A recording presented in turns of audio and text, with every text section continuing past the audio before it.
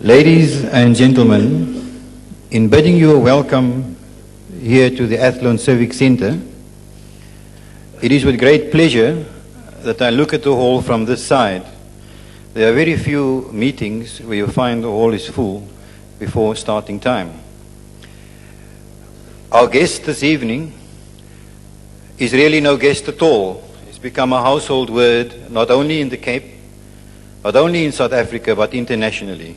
Brother Ahmad Deedat from Durban. Brother Ahmad, we wish you a hearty welcome once again in Cape Town. What you will hear tonight dates back, has its origin in America. Brother Ahmad Deedat will give us tonight a preview of what, if Almighty Allah spares him inshallah, will take place on the 7th of August in Birmingham in the United Kingdom. Brother Ahmad had a debate in America with Jimmy Swaggart, and he needs no introduction, does he? And after that, a challenge was extended to the Muslims. And the one who took up the challenge is Brother Ahmad Deedat. The challenge was extended by Dr. Anis Shorrosh, who is a doctor of divinity, and he gained his doctorate in America. Question might well be asked, what's he doing in America? Or why is he there? You know, when the Jews came and they grabbed the land of the Arabs, Dr. Anis, a Palestinian Christian, also had to flee. And he fled to America, where he became uh, a student of Christianity and became, uh, he gained his doctorate.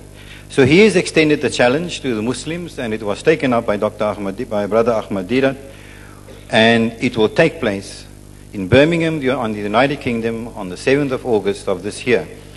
Uh, needless to say, we wish Brother Ahmad well, and we will be following that with intense interest. So what you will do tonight, inshallah, is to treat the subject and to address the topic of the two out of the three great monotheistic religions, Islam and Christianity, both laying claim to a holy book. He will address the subject on which is God's word. Is it the Quran or is it the Injil, the Holy Bible? And whereas I will remind the brothers once again after the talk, this is a lecture with a difference that there will be question time. And I will treat that again when, I, when the time comes. But I appeal to all those people who have any intention of putting questions tonight. Please, not to scout and, and flip around references now. Please pay attention to what is being said. Because I have been around before, and people tend to ask questions totally unrelated to what was being said. Please pay attention to what is being said and put those questions relating to that. I, without any further ado, I introduce you to Brother Ahmad Deedat.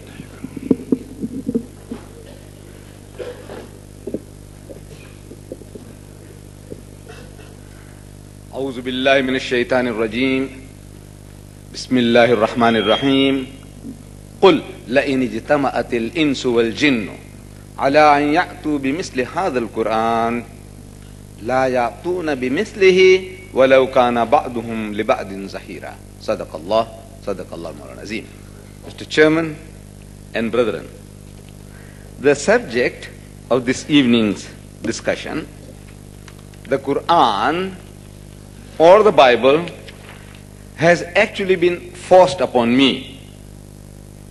Usually, I have been discussing the Bible, I had debates about the Bible, is the Bible God's word?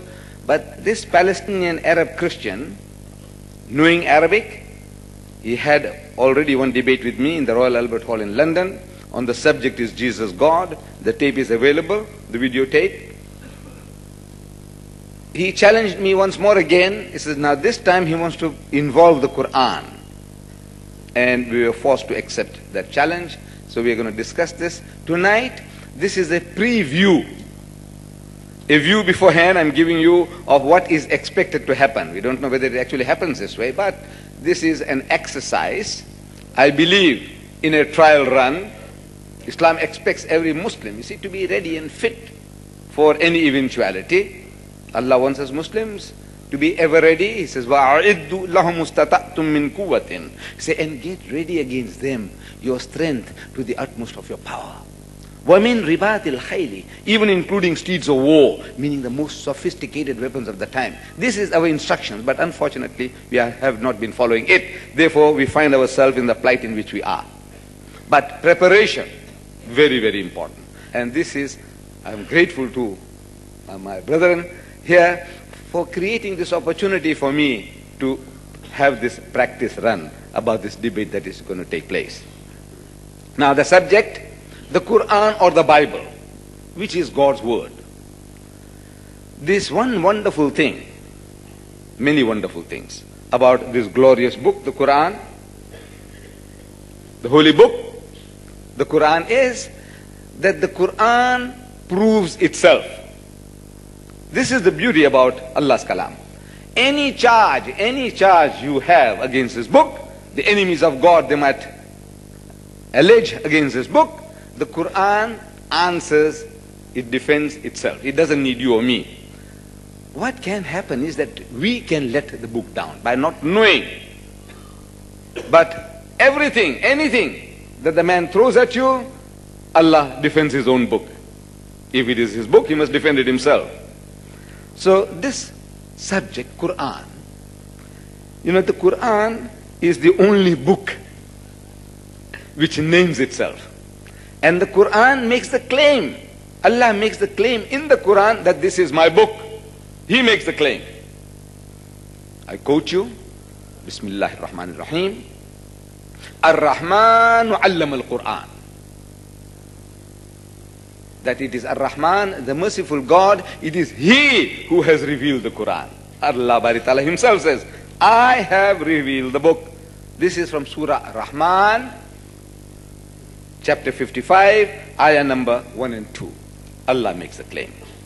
And again in Surah Gashia, Jashia, that is chapter 45, again ayah number 1 and 2, he says, Allah says, Tanzilul kitabi min Allahil Aziz al Hakim. That the revelation of the book, this book, is from Allah, the exalted in power, full of wisdom. Allah makes the claim that this is my book. And it is He who has revealed it. When we look at the Bible, the Holy Bible, this Bible is, of course, the Bible of the Jews and the Christians put together. Jews and Christians are all involved in this book. Because what they call, what we is called the Old Testament is the Bible of the Jews. The New Testament and Old put together is the Bible of the Christians. The Old is Bible of the Jews. So the whole Bible consists of Jews as well as Christians. We're dealing with them both. This word Bible is not in the Bible. You know, this book here, I have in my hand, is an encyclopedia of 66 books. It's like a library of 66 books inside. But there's nowhere in these 66 books is the word Bible written. Nowhere does it say Bible. So God says, this Bible is my book. Nowhere. The name is not there and the claim is not there. So, we say with regards to the Quran, Allah challenges mankind. He challenges them to say, this is my book. And He wants you to accept it as such. He says, Bismillah ar-Rahman ar-Rahim, وَإِن كُنْتُمْ فِي رَيْبٍ مِمَّا نَزَّلْنَا عَلَىٰ عَبْدِنَا That if you have any doubts with regards to what we have revealed to our servant Muhammad from time to time, فَأْتُوا بِسُورَةٍ مِّن مِثْلِهِ Then produce a surah, a chapter like it. وَادْعُوا مَنِ وَادْعُوا شُهَدَاءَكُم مِّن دُونِ اللَّهِ And call your witnesses, anyone besides Allah, in kuntum swadiqeen, if you are speaking the truth, and bring your witnesses as proof to say this is anywhere like the book that Allah has given to His servant, an ummi prophet, one who doesn't know how to read or write. He has, he's presenting to you chapters and beautiful verses. Come on, you produce one like it. So فَإِلَّمْ تَفَلُوا Allah says, and you will not be able to do it. وَلَن تَفَلُوا And you will never ever be able to produce the like thereof. Fine. فإن لم تفعلوا ولن تفعلوا فاتقوا النار التي وقودها الناس والحجارة عدت للكافرين then prepare yourself for the fuel for hell for fuel the fire whose fuel is men and stones burns up everything this is the challenge 1400 years now the challenge stands and nobody the Arab the, the pagan mushriks of Makkah they couldn't produce anything like it and in the Christian world today I'm sorry in the Muslim world today there are in Egypt alone more than 10 million Christians, Arab Christians. See, our people generally they don't know. We think every Arab is a Muslim. In the Lebanon, you know the people who massacred these Palestinians, Shabra and Shatila, who were they? They were Arab Christians. 10 million, they are boasting now in Egypt alone that there are 10 million Arab Christians speaking Arabic. And they are masters of the language even the Westerner, when he, he, when he masters Arabic, we have to go to him to learn meanings of words. You know that? Whenever our learned people, you know, when they refer to uh, Arabic words, they go to what is called Lane's lexicon. Who is Lane? Englishman. It's famous, famous in the in the world. Lane's lexicon. We go to him. You know, what is the meaning of this word? What is the root word and how it originates? All that we go to these non-Muslims. Writings, books have been written. Grammar by the, by the Christians, by the Christians. Arabic grammar. Here is a book. This is a book. This is a part of what they now call the harmony of the gospel. This is now addressed to Muslims. You see, when you read the Arabic Bible, the Arabic Bible, and when you compare with the Arabic of the Quran, it's chalk and cheese. It's poles apart, worlds of difference. There is no comparison whatsoever. So now, what they call it contextualization. It's a new word. They want to create now a feeling in the Muslim that this sounds like the Quran. They borrow words from the Quran and start the book. Here, this new publication, How to Catch the Arab Muslim, they start with Bismillahir Rahmanir Rahim. Every chapter now it begins now. Bismillahir Rahmanir Rahim to compete with the Quran. Because every chapter of the Quran begins Bismillahir Rahmanir Rahim. And terms and expressions, phrases are borrowed from the Quran into this book. In the so-called New Testament, they borrow it. So when the Muslim reads it, it says, it sounds like my own. Easier to catch fish. Deception. They have developed deception as an art here in Cape Town. This book here, Al Kitab. Look at it. How beautiful. Al Kitab. Look at the calligraphy. This is Christian. When you see this, say Al Kitab, you say, immediately comes to mind. Bismillahirrahmanirrahim. Alif Lam Mim, Zalik al Kitab, la al Kitab. There it is. Christian, this is Christian. And I show you deception as an art. Look at this. Beautiful, beautiful. Look at this sticker golden sticker. Look at this. I know it's difficult, but I think once it is on, on, on, on, on, on video, you'll be able to see it at close quarters. Deception and art. Look at this. I'm asking people, Arabs, and in Pakistan, I say, look, what is this? What is this? Read it. Read it, brother. Say, what is this? Yes, yes, yes. Everybody says, Allah Muhammad. I, said, I read it like that too, Allah Muhammad. This is not Allah Muhammad. This is Allah Muhabba. Catching fish, fish. They have developed all this as an art. How to catch the Muslim fish. What bait to use. You see? Because say God is love. But it looks like anybody, everybody. I caught an old Arab in Jeddah. I showed him, Ya, ya Sheikh, have a look at this. So he said, Allah Muhammad. I said, Ya Sheikh, have another good look. He Allah Muhammad. I said, Ya akhi, look, have a good look. What does it say? Then he Allah Muhabba. An Arab can be caught. I can be caught. What of the masses? Fishing, fishing, fishing, deceit, deceit. They have developed it as an art. When they can do all that, Allah says, produce a chapter like it. This is what is asked of you. Produce something like it. And Allah says, you'll never be able to do it even if you help one another. It can't be done. Now let us look at the Bible, what it says. That is say, I said, there's no way in the whole of the Christian Bible, this encyclopedia, where it says, this is my book. God says, this is my book. No way. On the contrary, you open one of the books called the Gospel of St. Luke. Gospel of St. Luke. In the so-called Injil, the Christians say Injil. So let's have a look at this Gospel of St. Luke.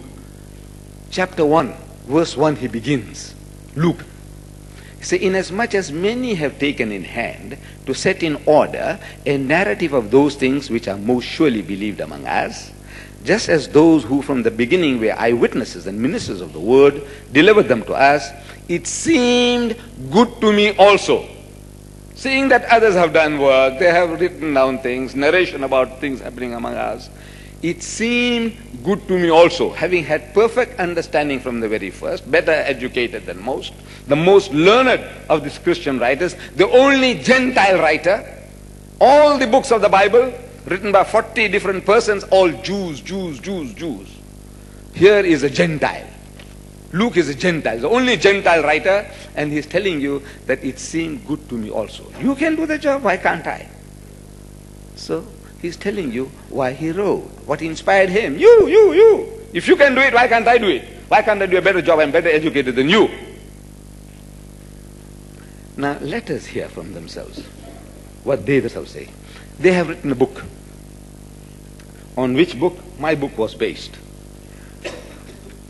Is the Bible God's Word? It was being given out.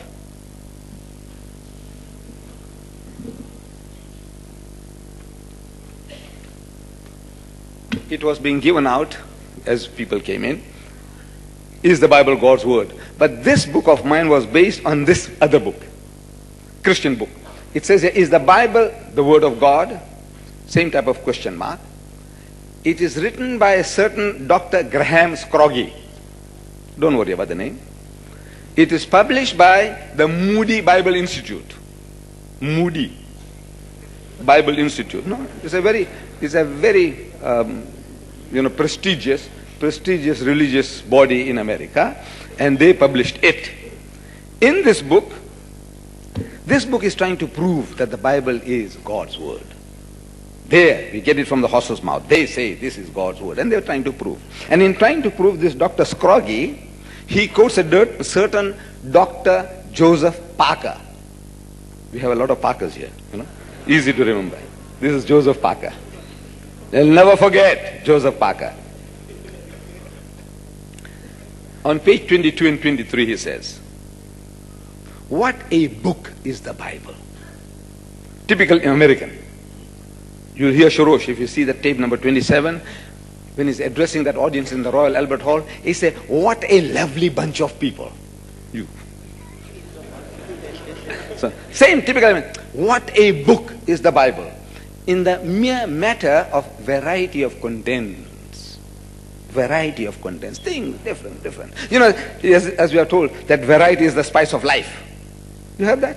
Variety, variety. Even different types of masalas in your curries, you know. This is variety. So in the mere matter of variety of contents. And I can give you examples, keep you whole night here. Just giving you the variety of contents and bore you to death. I don't want to do that. So in the matter, mere matter of variety of contents, it's a whole pages are taken up with obscure names. I'm only quoting obscure names, names you never heard before. Obscure names. And more is told of a genealogy than of the day of judgment. So stories are half told.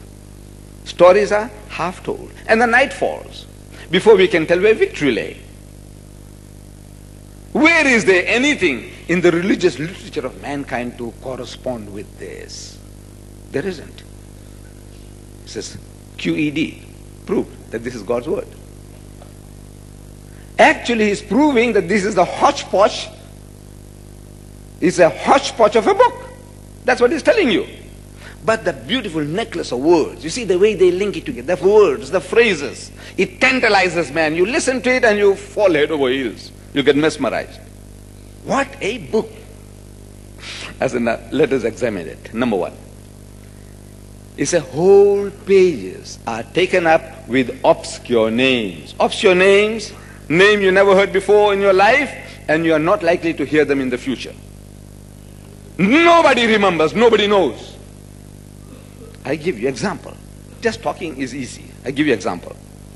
I am quoting from the first book of Chronicles, Chronicles, chapter 1, verse 11, from the Holy Bible. Mizraim begot Ludim, Anamim, Lehabim, Naphtuhim, Pathrusim, Casluhim. Look, any of you, I said there are 50,000 here. 50,000 Christians, and if I ask anyone, is there a single Ludim, Anamim, Lehabim, Naphtuhim, Pathrusim, Casluhim here? And there won't be. But this is in the Holy Bible, such beautiful names. You never heard of it? This is no. Nobody heard of it. This is the Holy Bible. I'm reading. See, obscure names. And you're never likely to hear in your lifetime. If you live to 100, you won't hear them again. Except from Muhammad Deedat. And at one of my meetings in the Middle East, I had a Palestinian Muslim brother as a chairman, Dr. Muawiyah Shunar of Dubai. So I'm asking him, the chairman. I said, Doctor, have you heard these names before? He says, No. I said, Shame on you. You know why? I said, These are your forefathers.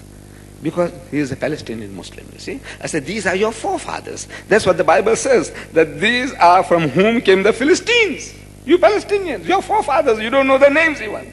Shame on you. Same thing I can tell this Dr. Anishoro, she's also Palestinian. I say, Have you heard the names before? Most probably. I expect, unless somebody texts him, tells him, hey, that's going to ask you this question. Doesn't matter. He might say, yes, I said, somebody informed you. Hmm? I'll ask him. I said, look, have you heard these names before? Impossible for him to say yes. Unless somebody has a telexes him now and say, hey, that's going to ask you this question. No, man, you can do that. So, names like this. Your ancestors, your grandfathers, and nobody knows the name. The Muslim Palestinian doesn't know, and the Christian Palestinian doesn't know. See, obscure names. So whole pages are taken up. Ah, and more is told of a genealogy than of the day of judgment. You know what's genealogy? Telling you about your ancestors. Your, who was your father, and your grandfather, and your great grandfather, going back to 50 generations. More is told about that than of the day of judgment. The Holy Quran, Allah's Kalam, one third of the Quran is dealing with Yawm al-Qiyamah, the last day, the day of judgment. Says, look out, be on guard. Hell is no joke. Heaven, hell, day of judgment. One third of the Quran deals with that. Here, we are told, more is told of a genealogy than of the day of judgment. Mere statement. I said, no, no, no, look, let me show it to you. Let me show it to you. Uh, the Chinese have a saying, one picture is worth 10,000 words. One picture. I give you two pictures. This. See this? This is the genealogy of Jesus Christ. It says Matthew chapter 1 verse 1 it begins the book of the genealogy of Jesus Christ, the son of David, the son of Abraham. Abraham begot Isaac, Isaac begot Jacob, and Jacob begot Judah and his brethren, and Judah begot Phares and Zara of Tamar, and, and on and on and on. And this is Luke. This is the genealogies of Jesus Christ. Both. Between the two, by Matthew and Luke, they give you 66 fathers and grandfathers to Jesus Christ. 66. And out of this list, two lists, there's only one name common to both. They are all contradictory. They're different, different lists. And both are inspired by God Almighty. The Holy Ghost tells them what to write and they wrote. And only one name is common to both out of the 66 names. And that one is Joseph the carpenter, who's not supposed to be there. now, amazing, amazing. I'm asking them, I said, look, God Almighty dictates the genealogy of his son, his son, in inverted commas. That's what they say. Jesus Christ is his son. God Almighty is dictating the genealogy of his son. And he takes the trouble of dictating 66 names. And he keeps himself out of it. What is he telling you? What is he telling you? You tell me. My son, that young man there, for example. I dictate to two journalists the genealogy of my son, and I give 66 fathers and grandfathers for my son. But I'm not one of them. What am I telling you? Amazing. A man who had no father hmm. believed that he was born miraculously. And you take the trouble of giving 66 names, and out of that, the author himself, the progenitor, if at all, he is absent. So more is told of a genealogy than of the day of judgment. Little one Allah says, فَوَيْلٌ لِلَّذِينَ يَكْتُبُونَ الْكِتَابَ بِأَيْدِيهِمْ ثُمَّ يَقُولُونَ هَذَا مِنْ عِنْدِ اللَّهِ So woe to them who write the book with their own hands. ثُمَّ يَقُولُونَ هَذَا مِنْ عِنْدِ اللَّهِ Then they say this is from Allah. لِيَشْتَرُوا بِهِ ثَمَنًا قَلِيلًا That they may reap some small reward, some benefit. وَوَيْلٌ لَهُم مِّمَّا كَتَبَتْ أَيْدِيهِمْ So woe to them for what their hands do write. وَوَيْلٌ لَهُم مِّمَّا يَكْسِبُونَ And woe to them for what they earn. Stories are half told. I'm still, I'm only giving you explanation because the man has spoken beautiful words and phrases. I want to tell you now, look how nice he's putting all these things. So stories are half told. And the night falls. I mean, there's a close. Before we can tell, well, victory, what happened? What's the outcome? Hmm, nothing. You know nothing. I give you. Matthew, Matthew, chapter 27, verses 52 and 53. It speaks about wandering corpses, corpses, you know, dead bodies coming out of the graves and walking the streets of Jerusalem. And the graves were opened. The graves were opened. And many bodies of the saints, you know, those goodly people that were dead and buried for centuries, many bodies of the saints who had fallen asleep, means they were dead, were raised. And coming out of the graves after his resurrection, after his alleged resurrection of Jesus Christ, they went into the holy city and appeared to many. Left, right, left, left. They marched into Jerusalem. These dead people, they came out with the napkins or with the shrouds or the skeletons and they walked the streets of Jerusalem. That's what Matthew says. But out of the 27 books of the New Testament, amazing, he's the only guy who saw it. Can you imagine? Look, people walking, dead people coming out of the graves from your graveyard here. What graveyard? And he walking down Claremont or, or here, Adderley Street. And nobody sees it. No newspaper except one guy somewhere. Can you imagine such a situation? Nobody has ever. And then what happened to them? Look, they just tell you they came out and they walked the streets. What happened? Did they go and find the wives and children? Hmm? Go to bed again with them? What, what did they do? Or did they go back into the grave? If they did, why would they want to go back? Huh? Once you got freedom from the grave, you want to go back? What happened, man? Tell us. No. Story closed. Finish. No more. Not one word more by Matthew or by anybody else. I you another, just one verse. Book of Judges. Judges. This is the name of another book in the Bible. Chapter 3, verse 31. I'm reading. So after him, after him was Shamgar.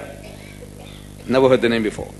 Shamgar, the son of Anat, who killed 600 Palestinians with an ox goad. And he also delivered Israel. One Jewish boy with this stick. I read about this stick first, you know, when I was young. I'm reading the book of Acts in the New Testament, chapter 9, verses 4 and 5. It says, Paul was going to Damascus and he hears a voice, supposed to be the voice of Jesus from heaven.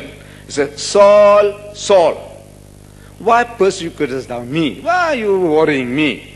Why kickest thyself against the pricks? So man he says, what is this? What kind of a holy book is this? So I started going and asking priests, what is this? Nobody could tell. Nobody, nobody. Now in the newest, latest new test, a new latest Bible, the King James Version, they said goad. Why kickers thyself against the goad? I'm asking, do people know what is a goad?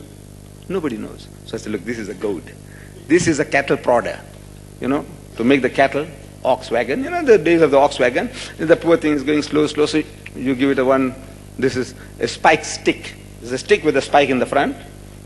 They call it a cattle prodder, call it a goad, call it what you like. With this one stick, one Jewish boy killed 600 Palestinians. With this stick. I want to know what were the Palestinians doing. Hey, damn fools, why did they run away, man? I'm asking this Palestinian, Dr. Anis Shorrosh, I'll ask him. I said, look, tell me, man, what were you people doing if you only spat on that guy who would have suffocated? Anyway, with this stick, you can't destroy 600 snowmen. You know that? With this stick. You believe that? I say, you believe that? Once you believe that, psychologically you are a defeated people. Gone for good. You can never stand up for the Jews. Never. Because if God Almighty had this destiny for you, that one Jewish boy can kill 600 of you, one little David killed a giant, Jalut. The Jews, they make a big story of it. The Christians make a big story of it, and we make a big story of it. We say, Wakatala Dawood Jaluta, and Dawood killed Jalut. Okay. This guy, he beats the whole band lot. He killed 600 with a stick, and nobody knows about it. Nobody, by God, I tell you, ask any Christian missionary, I say, you know Shamgar? Ask him, you know Shamgar? So who's that?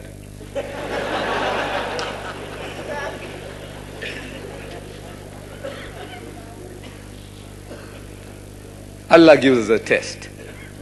I'll give you numerous tests from the Quran, from the Bible, how to find out whether a book is from God or not. He gives us a test. He says, Bismillah ar-Rahman Afala yatadabbarun al-Quran. He said, do they not consider the Quran with care?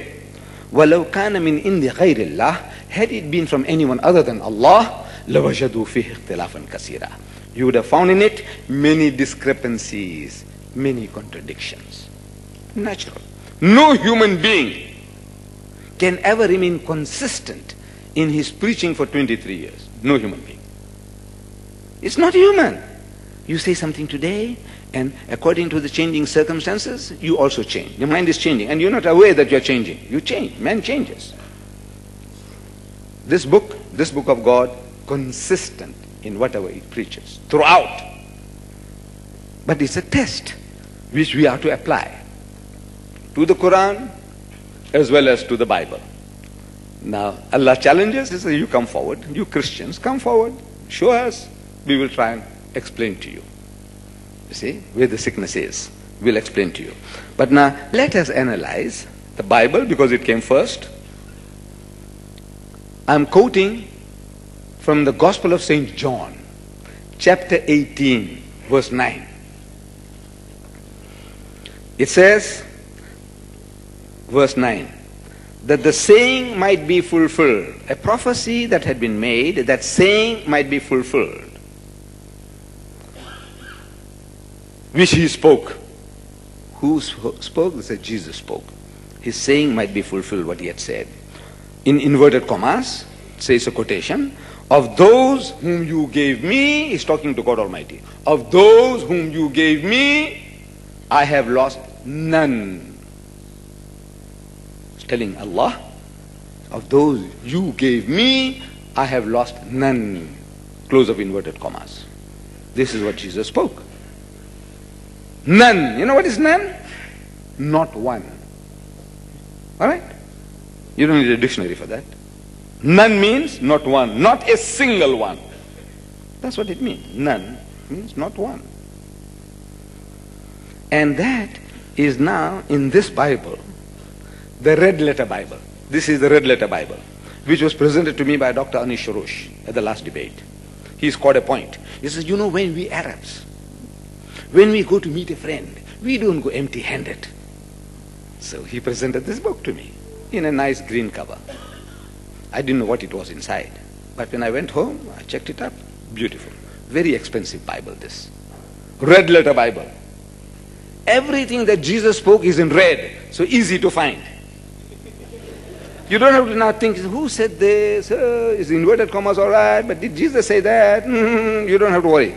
Anything in red, Jesus said, that makes my task easier to find out that is this Injil. You know, the Muslims get caught out. The Arab Muslim also. I say what the Bible says about Muhammad. So the Arab translator says what the Injil says about Muhammad. I can understand he's saying Injil, and in Arabic he's saying about Muhammad. I said, I didn't say Injil, akhi. I said what the Bible says about Muhammad. So he changes. He said what the Torah says about Muhammad. I said, I didn't say Torah, I said Bible. Bible is not Torah, is not Zabur, is not Injil. Don't see you get caught out. So this little book of mine explains to you what is Torah, what is Zabur, what is Injil. You must get it. If you haven't got it yet, get it. It's free. Right. So this, this book makes my task easier. So I start looking for everything that Jesus spoke in the New Testament. So I find that 21 out of 27 books of the New Testament, there are 27 books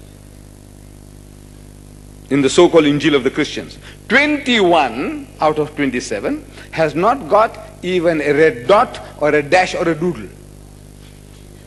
Leave out being the word of God is not even the word of Jesus. It is not even quoted. And in Living Bible, there's a new, another, which the evangelists, the preachers use, the Living Bible. 23 out of 27.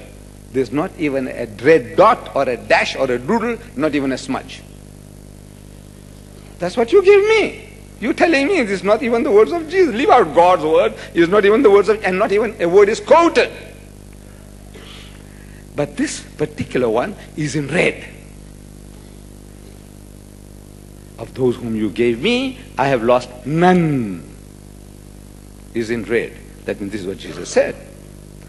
But the same John, in chapter 17, a chapter before 18, in verse 12, he says, same Jesus now, he says, while I was with them in the world, I kept them in your name, means kept them in that straight path.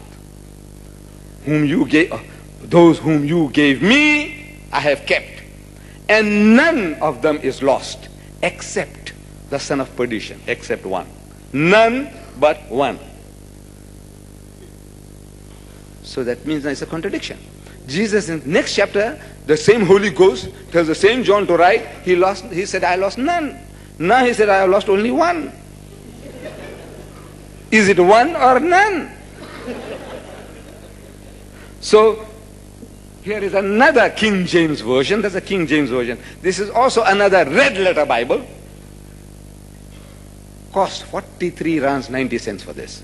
You know our Quran we are selling you, brothers, 2,000 pages. This Quran, 10 rands. 10 rands. And if I have the chance, inshallah, the next time when I come along, if I can supply them enough, it'll be 5 rands each. 5 rands each. 2,000 pages. 5 rands each, inshallah. At the moment, they are 10 rands. It's cheap. Wallah, it's dirt cheap. 43 rands, 90 cents I paid for this, plus GST. this is also a red letter Bible. So I open the same verse, John chapter 18, verse 9, and it's in black. That means these editors, they don't believe it was the word of Jesus. I would say that can't be Jesus contradicting himself, the Holy Ghost contradicting himself. But he puts it in black.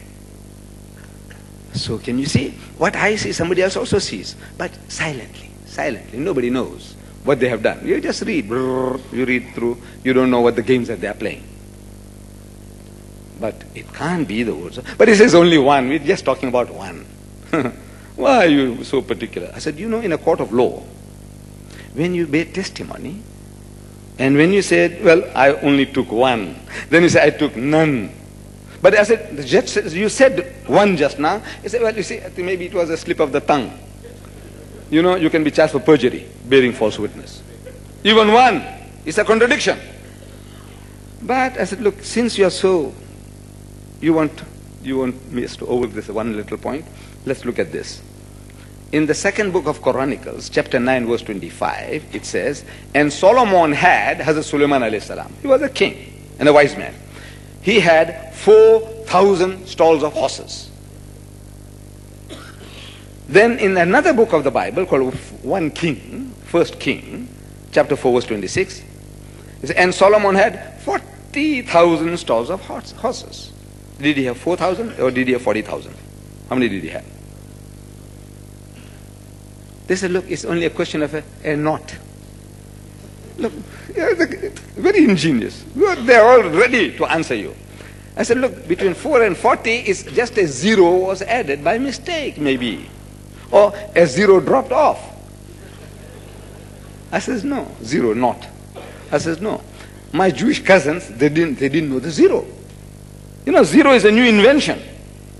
And it was given by the Arabs to the Western world, zero. Without zero, we couldn't have all these sciences. You know that?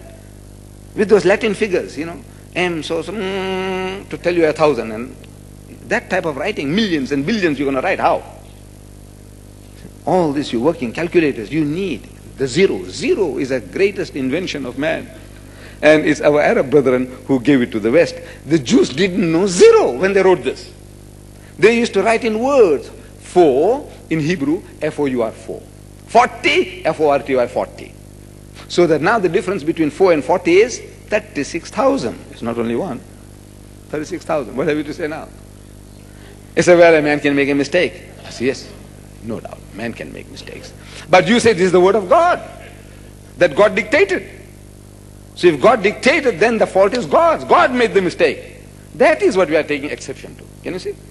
If you say man writes and you know, he was maybe he was tired or he had some some mandrax or what, so and the guy, you know, instead of saying four, he wrote 40, we can overlook people's faults. But not God. If you say God wrote it or God dictated it, we have a right to take exception and say, look, you're attributing a lie to God now. Four or 40.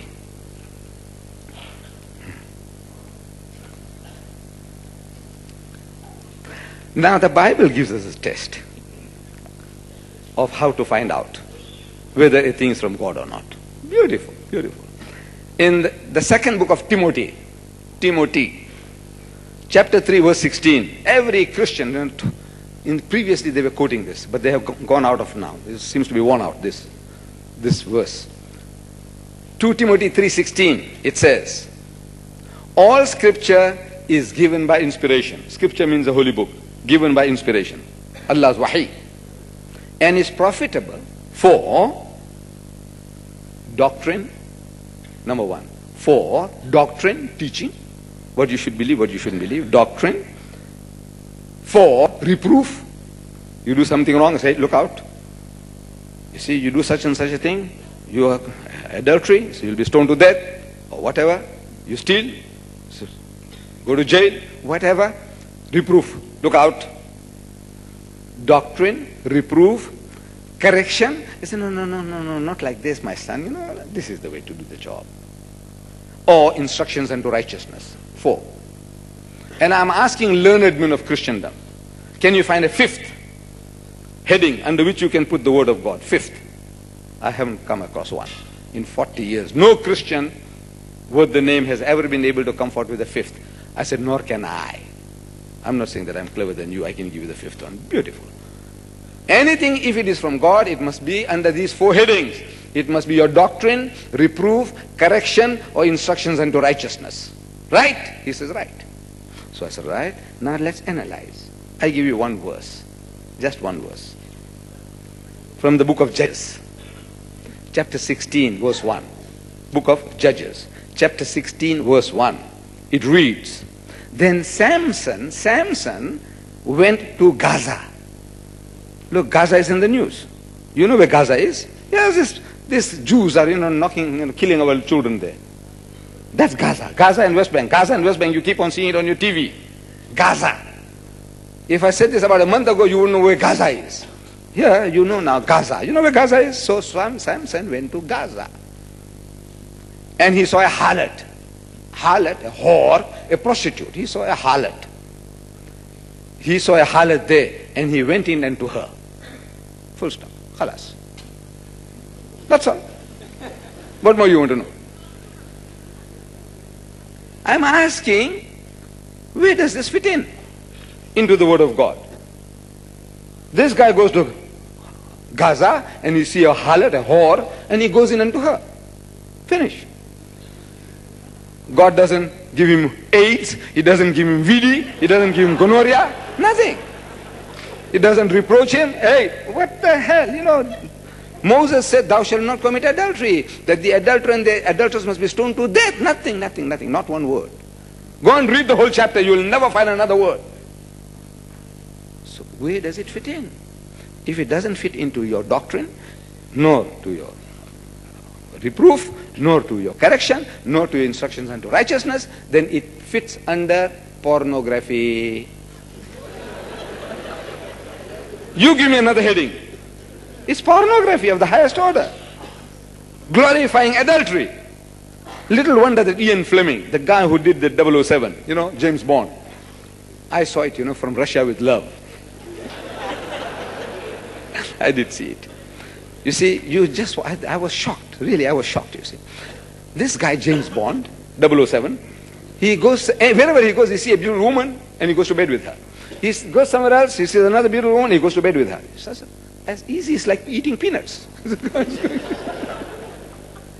Where did he get the idea from? Ian Fleming. I say, here. Samson goes to Gaza, he sees a harlot and he goes in into her.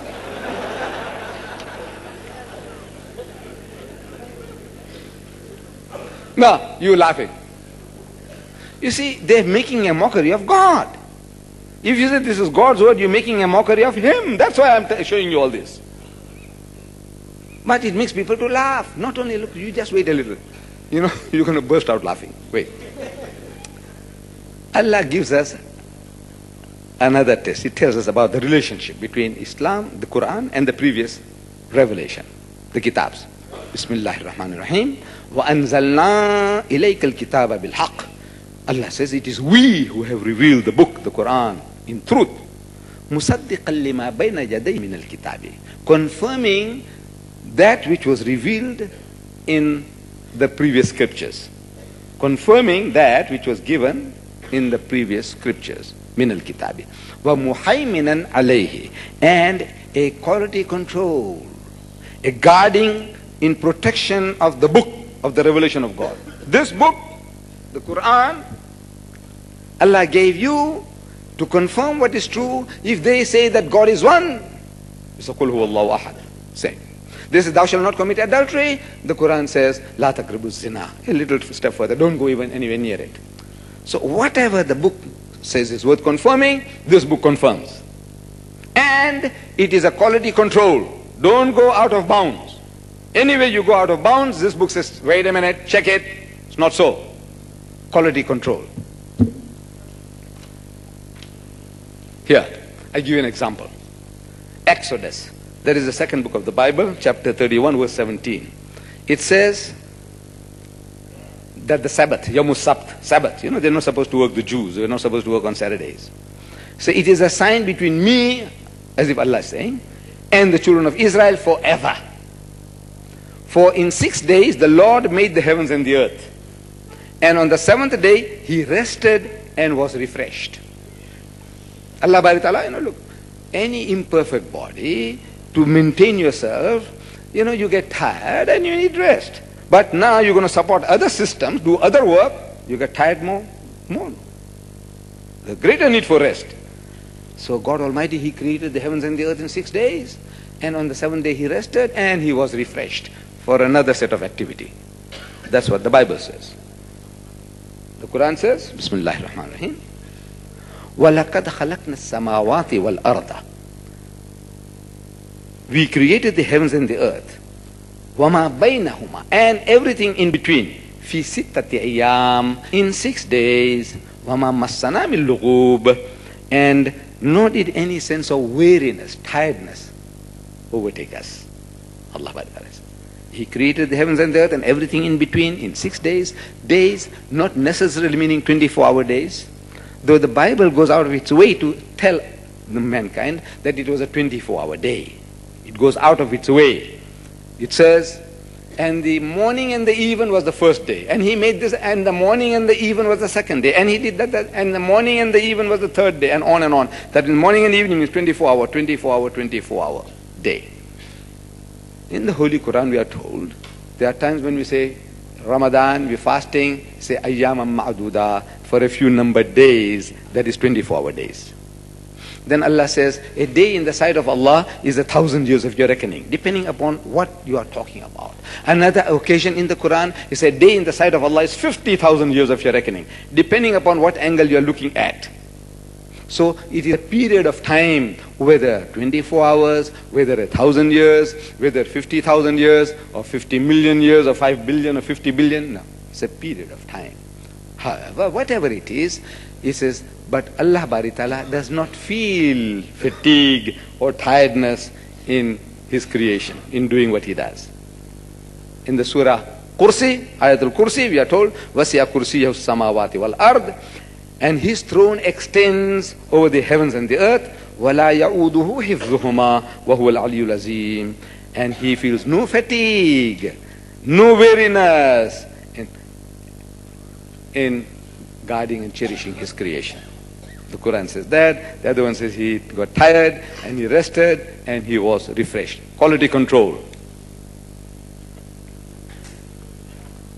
Again,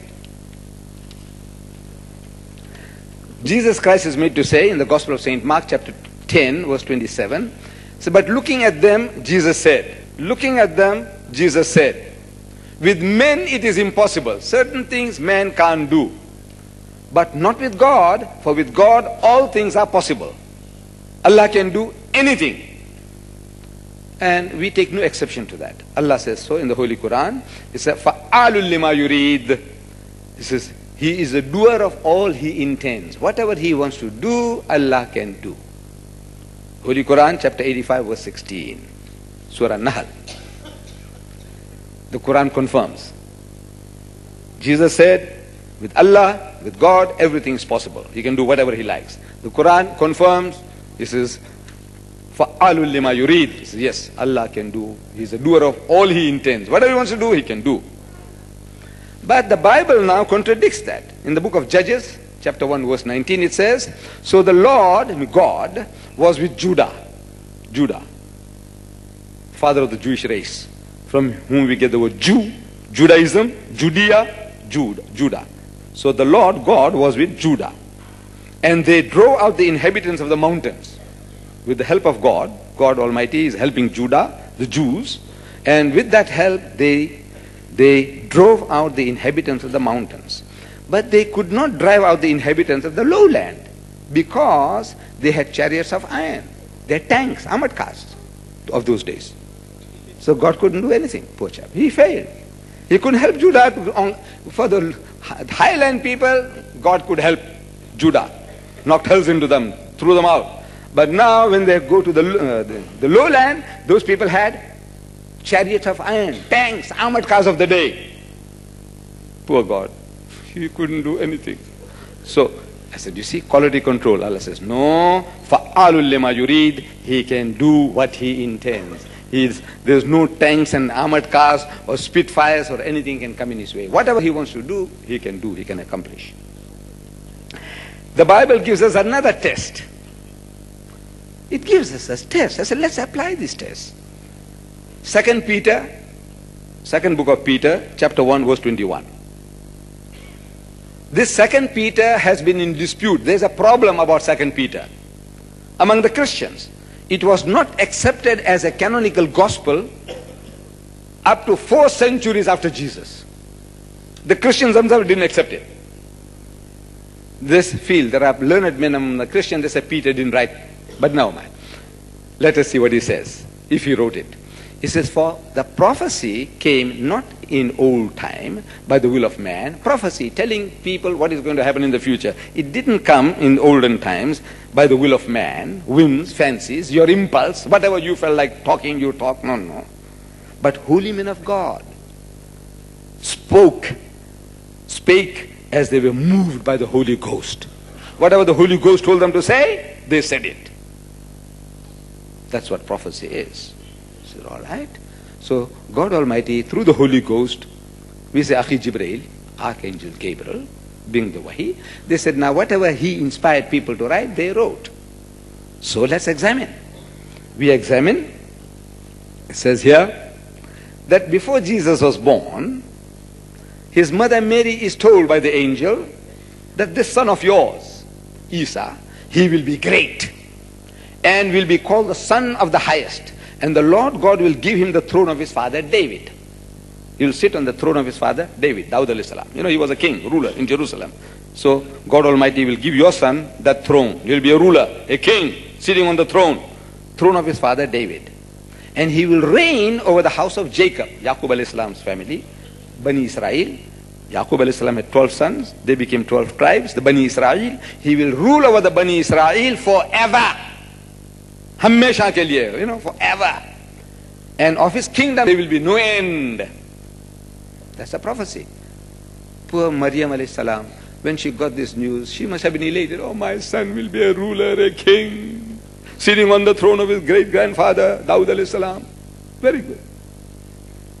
What happened? Instead of him sitting on the throne, a mushrik is sitting on the throne, Pilate, and he's sitting in judgment on Jesus. Amazing. He is supposed to be the ruler, supposed to be ruling the Jews forever. Who's ruling in Israel now? Who? Jesus? And ask these missionaries, who's ruling in Israel? Jesus Christ? He said he's going to rule over the house of Jacob forever. You know what's ever? Yes, ever means ever. For all times. Who's ruling at the moment? 2,000 years have gone. Where is Jesus? He's sitting there on a hot seat in heaven, so they say. He's sitting on the right hand of God. He's waiting till his enemies become his footstool. Who are his enemies? Jews. They are ruling there, running amok, knocking hells into the poor Palestinians. Hmm? And Jesus is supposed to be ruling forever. And he'll sit on the throne of his father David. This Pilate fellow is questioning him. Art thou the king of the Jews? So he says, Thou sayest, that's what you say. He said, Am I a Jew to tell you this? Is what your people say that you are claiming to be a king. So Jesus says, My kingdom is not of this world. Does that mean he's, he's sitting on the throne of his father David? He said, My kingdom is not of this world. My koninkrijk is nie van nie.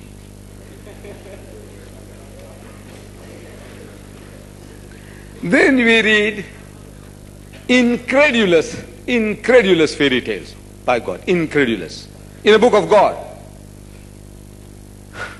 I'm reading from the book of Judges, chapter 15, verse 15 and 16. He found a fresh jawbone of a donkey. Who? Samson. This same Samson, you know, who went to Gaza, his exploit. Now he finds a fresh jawbone of a donkey. You know this jawbone of a donkey? Reached out his hand and took it. And he killed 1,000 Palestinians with it. With the jawbone of a donkey. I'm asking, Shorrosh, this one Jew boy, he killed 1,000 of you people. Damn it all, why didn't you run away, man? why? And with the jawbone of a donkey, how did he do it? 1,000. What, they were lined up? Even if they were lined up, and where do you hit the guy? One, two, three, four. Can you imagine killing 1,000 people with the jawbone of a donkey? And then he sings a song. Listen to his song. Then Samson said, he sang, with the jawbone of a donkey, heaps upon heaps, with the jawbone of a donkey, I have slain a thousand men. I said, look, in Greek fairy tales you don't find this. Huh? You believe that? Was a film goer at one time. So, this Samson fellow, now he goes, Judges, book of Judges, chapter 15, verses 4 and 5, he says, Then Samson went and caught 300 foxes. You know what's a fox? You can't catch 300 tame dogs, you know that? if you try to catch a chicken, chicken in the chicken run, you know, one chicken. This guy Samson, he went and caught 300 foxes. Listen now. Hmm. And what he did with them? And he turned them tail to tail. Took two tails, you know, maybe male and female, he tied them up. Male and female, tied them up. He tied them tail to tail, two, two, two, two, two. So he made 150 pairs. Then he put fire between the tails. And he told them to go for the fields of the Palestinians, and they went. And they set fire to the Palestinian groves and olive groves and, and wheat and all that. These foxes, poor thing when you tie them, you look fox, fox, you know what's a fox? Wild things, man. You know, you can't even train dogs to do that. You know, you tie their tails, they want to run one either way. But here he tied them up, two, two, two, two, two, two, two, two. He made 150 pairs. And then he put fire, fire, fire, fire, fire, fire, fire, and he told them where to go, and they went. I said, you know, the Greek gods couldn't do anything like that. Hmm? Then I said, you Palestinians, very valuable people. You know your foreskin, foreskin. You know we do khatna. You know khatna? Circumcision. Circumcision. Circum means right round and cision means to cut. You know, the skin. Now, it's very worth, it's a valuable thing for dowry. You want to get married? You want to marry a king's daughter? For dowry, those skins. If I had time, I'll tell you a joke about the Jew, you know, how he was catching fish with it. But we haven't got the time. 1 Samuel, book of Samuel, chapter 18, verse 27, it says, Therefore David arose and went, he and his men, and killed 200 men of the Palestinians. These Palestinians are there, they're just ready to be killed. That's their destiny. Allah, as if He's got destiny for them. You just get killed by the Jews. Now he goes and kills 200 Palestinians. And David brought the foreskins, the skin in the front, he brought, and they gave them in full count one, two, three, four. He counted out his dowry 200 to marry the king's daughter, Michal. He married Michal. 200. One, two, like one pound, two, one rand, two rand, three rand. He gave out this in full count. Exactly 200, not 199, 200. We were paid out in full. I said, you Palestinians, man, what is God got stored in for you? What has He got for you? you uh-huh. You know, God Almighty, He hates them so much, these Palestinians, according to the book, according to this Jewish book, the Bible. He tells them, he says, look, telling the Jews, you kill the Palestinians, men, women, and children. Nothing that breeds must live. Even ox and camel and sheep and goat and donkey.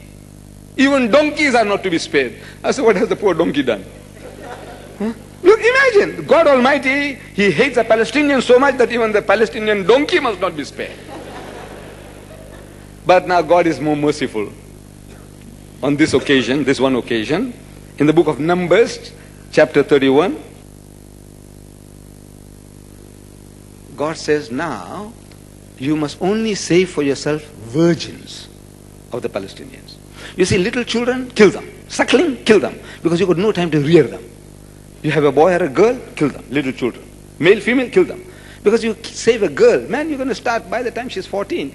You know, amount of food and shelter and protection you give her. A waste of time, destroy them, kill them all. But when they are ready, 14, 15, 16, yes, now those also you must be on guard that they must be virgins. Yes, which no man had known sexually. Soldiers in the field are given instructions. Look, when you see a Palestinian girl, you must verify that she is a virgin. The only way is to rape and ravish her. Ravish her. There's no other way. For a soldier, how is he going to find out whether the woman is a young girl is a virgin or not? And if they found she is not a virgin, chop off her head. Not virgin, chop off her head. And they saved for themselves 32,000 women which no man had known. And they were the first to rape and ravish. How many? 32,000. How many they murdered? It doesn't say. 32,000. God giving such instructions. Hmm? Can you imagine any nation on earth giving such instructions to the soldiers that when you meet, you know, of your enemy nation, when you meet young women, verify. Rape and ravish them. That's the only way you can verify. And once you verify that, then mm, this was too easy, it's just chopped off of the heads. but you know, God Almighty, He also wants His share. God wants His share now out of that. The raped and ravished women of the Palestinians, He loves them so much. So it says here, and 30 and 2 was for the Lord. I'm asking, what does the Lord do with raped and ravished women? huh? What does God do with them? You tell me. Little wonder Allah says, فَوَيْلُلْ لِلَّذِينَ يَكْتُبُونَ الْكِتَابَ بِأَيْدِهِمْ So woe to them who write the book with their own hands. ثُمَّ يَقُولُونَ حَذَا مِنْ عِنْدِ اللَّهِ Then says, this is from Allah. لِيَشْتَرُوا بِهِ ثَمَنًا قَلِيلًا That they may reap from it some small reward, some small benefit. وَوَيْلُلْ لَهُمْ مِمَّا كَتَبَتْ أَيْدِهِمْ وَوَيْلُلْ لَهُمْ مِمَّا يَكْسِبُونَ And woe to them for what their hands do write. And woe to them for what they earn. Now they say, this Shorrosh fellow, at the last meeting, if you buy the tape, you'll hear him. He said, You know, 75% of the Quran in my glorious language, Arabic, 75% is copied from the Bible. Is plagiarized, stolen from the Bible. Muhammad copied it from the Jews and the Christians. What is the Quran? He copied it from the Jews and the Christians. 75%. I'm asking, what is there to copy? What have you got that's worth copying? Look, my friend Jimmy Swaggart, he has been writing many beautiful books. homosexuality, Sodom and Gomorrah, pornography, the preacher. In this book, ah, there's one on incest. It's here. Ah, it's inside the book. Incest. You know what's incest? You see, when you go with somebody else's wife or daughter, commit sinner, it's called adultery. But when you do it with your mother, that's incest. When you do it with your daughter, is incest. With your sister, is incest. With your daughter-in-law, is incest. And there are 10 cases of incest in the Bible. Different, different cases. 10 cases. Father with his daughters, father-in-law with his daughter-in-law, son with his mother, brother with his sister. As if this is a textbook on incest. If you want to know what, what type of incest you can commit here, you'll get the reference book. The Bible. So I said, what is there to copy? And there's not one of them is copied here. There's not one case of incest in the Quran. Not one. You got ten. What did Muhammad copy? That Christians themselves are saying, ban the Bible call for glorifying violence and sex. The Christian women is crying in England, ban the book. George Bernard Shaw, he says, the most dangerous book on earth. He said, keep it under lock and key. Your children must not have access to it. The Plain Truth magazine, the editors, they say that many a censor will give it an X rating. Cross. The Bible. This is a Christian publication, The Plain Truth. They say many a censor will give it an X rating. So what is there to copy? If Muhammad copied the things that I can give you from the Bible, you know, Ezekiel, the details, I don't want to. My sisters and my daughters are here, I don't want to. But I tell you, the Holy Prophet Muhammad, if he was writing on his own, if he was an impostor, and if he had copied these things, he could have made the Quran the bestseller, world's bestseller. I'm telling you. Because the Arabs would have left it up and no problem for him. They wouldn't have given him any problem. The mushriks of Makkah, you know, they gave him, persecuted him. He had to flee for his life. You know that. But had he copied the Bible about all the sex and the pornography that is there, it would have meant the Arabs would have lapped it up of the Ayyamul Jahiliyyah. They would have lapped it up. And they would have said, Muhammad is a great hero. No problem for him. Unfortunately, fortunately, he didn't do that.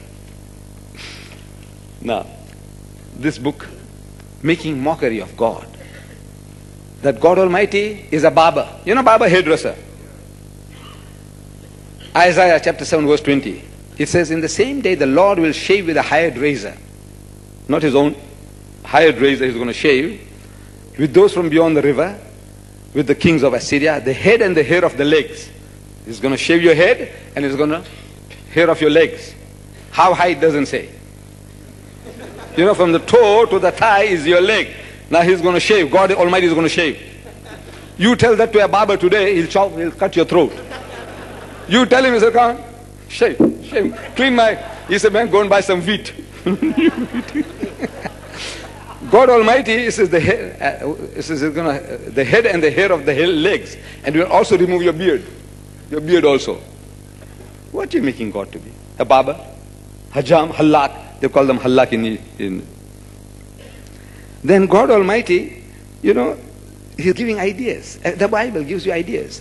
You've seen people smoke. I've seen our people, you know, smoke a bit too much. I was watching, I was sitting, standing outside and the people come in. And just last minute they want to have the last few puffs. But you see some of our brothers, you see when they smoke and then they, they make rings. You seen that? I tried it sometimes. I failed. I couldn't do it. Then there are others, you know, who smoke and they, they, they take out smoke from the noses. Where did you get the idea from? Where did they get the idea from? From the Bible. So smoke went out from his nostrils, Allah's nostrils. smoke went out from his nostrils. And devouring fire from his mouth. You know, the dragons. Saint George and the dragon, you know. Fire coming out of his mouth. Devouring fire. Coals were kindled by it. That's how Allah burns coal. and he burns, you know, like the flamethrowers. I don't know whether you've seen in some time in the films. They throw flames. So God Almighty, and he burns coals with it. He bowed the heaven also, and he came down with darkness under his feet. He rode upon a cherub and flew. What is a cherub? You know what's a cherub? You see, an angel is a beautiful woman with wings. You go to the art gallery when I don't know about here, Durban, Museum Complex, City Hall, Durban. You go to the second floor and you see the beautiful paintings by great artists. Among them, there is one there about the angel, well proportioned, 36, 24, 36, with wings. but she appears to be about 25, 24, 25. You know, that's an angel. A cherub is a 12 year old, 14 year old angel. You know, a little girl, crisp, crisp. And God Almighty is riding her. Listen, listen, listen, I'm only reading. He says, and he rode upon a cherub, this young thing. Allah bari astaghfirullah. He's riding upon a cherub, this young little crisp angel, girl, about 11 or 12 year old angel with wings. And he flew like Superman. You know Superman? You know how he flies? With his mind. You know that? You don't see anything there. He just does like that and he goes. But they're telling us that God Almighty, He needed this cherub, you know. And he's flying about. What, what you making, my Allah? Why are you making mockery of God? See, this is making a mockery of God Almighty in this book. And you say this is Allah's book. Allah writing that. He's telling you to write that He writes cherubs, cherub little, little girls. He's riding them around. Uh, he couldn't do what the Superman does. Astaghfirullah. فويل للذين يكتبون الكتاب بأيديهم ثم يقولون هذا من عند الله. Then God Almighty, in the book of Isaiah, He tells His prophet Isaiah that he must go about naked, absolutely naked, not even a G-string. You know that little little, little jock straps you wear? Not even that. No, no, no.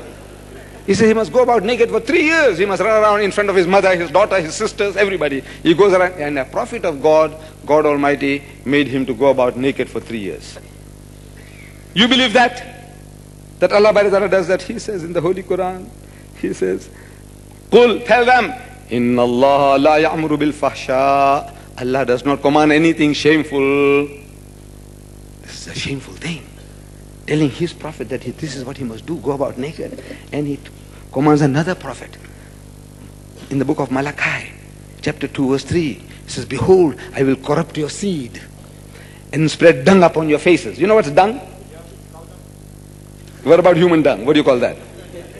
This is talking about human dung, not cow dung. Spread dung upon your faces. Allah will do that on your faces. Even the dung of your solemn feast and one shall take you away with it. Then Ezekiel chapter 4 verse 12 says, and thou shalt eat it as barley cakes. He's telling his prophet, Allah is telling his prophet to eat that thing what he's going to make now as barley cakes. And thou shalt bake it with dung that cometh out of man in their sight. What you see from fresh, fresh, fresh stuff, not the thing that's dried up. not the dried up one. What you see fresh that's come out of man, that dung, you must bake it with that and you must eat it. Who? His prophet. Allah is telling his Nabi to do that. Allah says, Inna Allah la ya'muru bil fahsha. Allah doesn't command anything shameful. Hmm. then he tells another prophet, Hosea. Then the Lord said to me, he says, Allah told him, go again, love a woman who is a lover by a lover, an adulteress. Allah tells him, go and get a wife of adultery. Zina, zani, go and marry an adulteress, committing adultery. Just like the love of the Lord for the children of Israel, who took other gods and loved to raise them. Inna Allah la ya'muru bil fahsha. And Allah Bari Ta'ala, He eats also broiled fish and honeycomb. You know that? He eats fatted calves. This is what Shorrosh, you know, in the last debate, if you see that, he tells. He said, you see, Ibrahim alayhi salam was sitting and he sees three angels appeared, three persons. They appeared. They materialized. Like what you've seen in Star Trek. Star Trek, you know, the people in the spaceship, they they dematerialize in the spaceship and they appear on some planet. And from there they disappear and they appear again in the spaceship. So three angels, they appeared. So Ibrahim salam, thinking that they were visitors, so he goes to them and says, look man, come, come, come, come, you know, I'll wash your feet and I want to be hospitable to you. So they come inside, they sit down. And Ibrahim salam tells one of his servants, the fatted calf, the nice fat calf, kill it. And he takes his, he gives some flour and some butter to his wife. He says, come quickly, quickly, bake some cakes.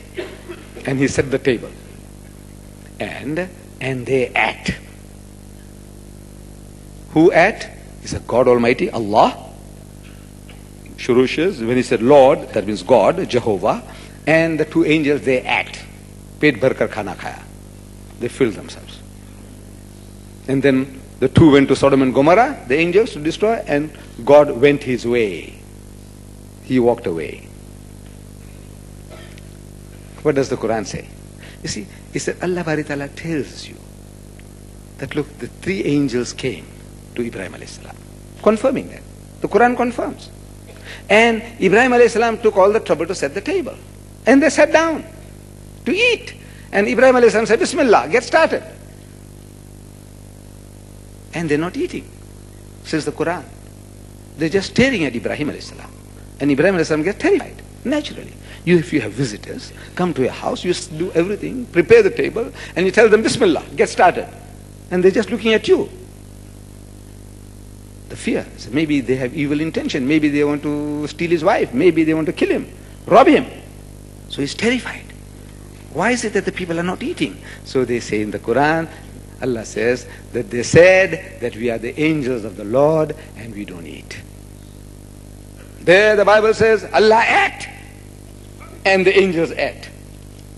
So Allah says, Qul, tell them, غير الله واتخذ وليا Say, am I going to take anyone other than Allah as my Lord and protector? Fatir samawati wal ard, when He is the creator of the heavens and the earth. وهو يطعم ولا يطعم when it is he who feeds but is not fed they say Allah eats the Quran says Allah only he feeds you but he doesn't eat this is not his angels don't eat God doesn't eat these are the qualities of man what's wrong with you no. so correction ومهيمنا عليه my dear brethren you know there is so much let me end this talk, give you people an opportunity to ask questions. In the ayah I began, uh, let me end with the ayah from Surah Bani Israel, that is chapter 17, ayah number 88. Bismillah ar-Rahman ar-Rahim. Qul, tell them. لئن اجتمعت الإنس والجن على أن يأتوا بمثل هذا القرآن Say, tell them that if the whole of jinns and mankind if they were to gather together to, to produce a like of this Quran, they will never be able to produce a like thereof. Even if they help one, backed up each other with help and support. This book is Allah's book, and there is nothing like it that anybody can produce. We Muslims must become conversant with this book of Allah. Get a translation? I know the direct is Arabic, if you understood, I understood, it will be the best. The second best is through a translation. Get a translation and acquaint yourself with what Allah says and share it with our fellow countrymen, our neighbors, our friends, our employees or our employers. Share it with them. وآخر الدعوانا أن الحمد لله رب العالمين. Thank you, Brother Ahmad Deedat. There was a message sent to the stage earlier. I could not interrupt the talk. It says that the following cars will be towed away. A brown Datsun CA 149702. A green Datsun CA 409028. A Toyota Avante CA 575236. If you are the owner, please attend to it. Ladies and gentlemen, you have heard how Brother Ahmad deal, dealt with the topic on which is God's Word, the Quran or the Bible. The hall is very full, but we have a microphone placed in front of the stage. If you wish to put a question pertaining to what was said, then please come to the microphone. I beg of you that I'm here to control the meeting. And I would like to say to those people who are perhaps not coming to put a question, that whoever comes to put a question should be afforded the opportunity and the dignity and the honor of having his question put in a civil manner and without any interference. I would stop you if you interfere with him, but likewise, this is not a debate, it was a lecture. And I did say at the start that you are entitled to come and put a question. Please I would not like to stop you against your wishes, but if you come to give a lecture, then I'm going to stop you. And please put one question at a time. And if there are more than one person, then you put one question at a time and go back to the end of the queue. It's pretty awkward. Please facilitate matters. If people want to get to the microphone, please let them do so. Thank you.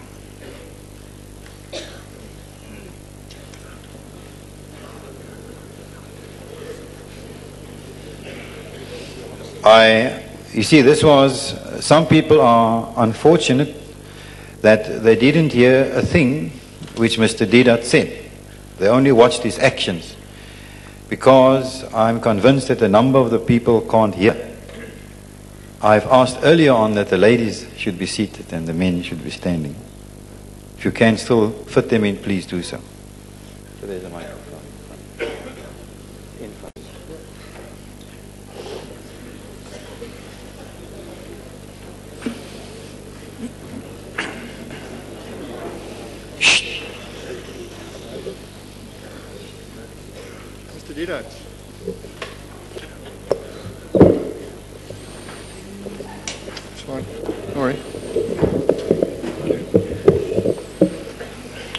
Where in the Bible does it say that an angel is a woman? You don't have to look for that in the Bible. This word cherub. If you look up the Oxford Dictionary, he will tell you what a cherub is, and what is a cherubim, and what is a seraphim. So you get it there. And if you go to the art gallery, as I said, and every Christian painting description you find in Christian literature, angels are always women with wings. Or not always, most of the time.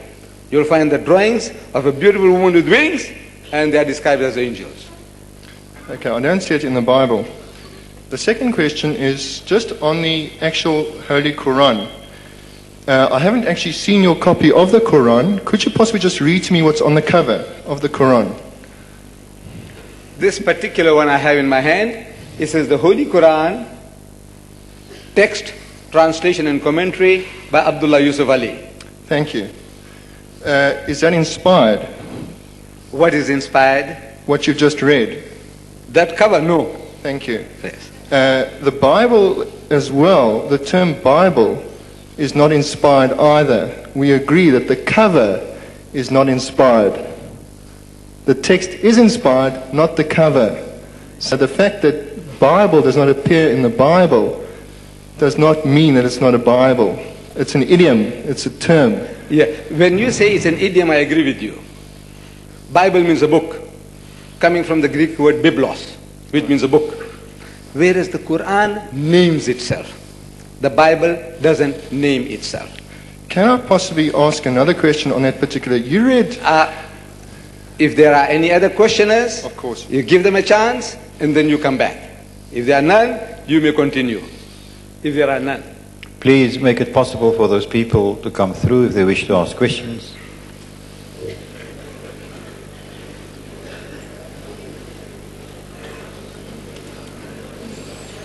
Can I possibly ask while I come ahead? Yes. Yes. The next question is you read from 2 Timothy 3, verses 16 and 17, which says that all scripture is God breathed and is inspired for teaching. You also quoted from the book of Luke, uh, and you, you brought out certain points there. Now, as far as I understand the Bible, when it says all of Scripture is God breathed and is useful for teaching, Scripture attests to itself, i.e., Scripture itself is saying that it is inspired. The Bible does say itself, it does attest to itself that it is inspired. That's why when Jesus quoted from the prophets, he said uh, that the Scripture says that this Scripture has been fulfilled in your presence today. Right? Scripture is self attesting. Is there a question that you would like to put in? It's a rhetorical question. You see, I gave you that as a test. Now, when Paul wrote that, there was no Matthew, Mark, Luke, and John. This is what your Bible scholars they tell us that Paul wrote this about 25 years before any other book that was ever written. So he's not talking about Matthew, Mark, Luke, and John or Acts. He's talking to Timothy about the scriptures which he as a Jew had learned.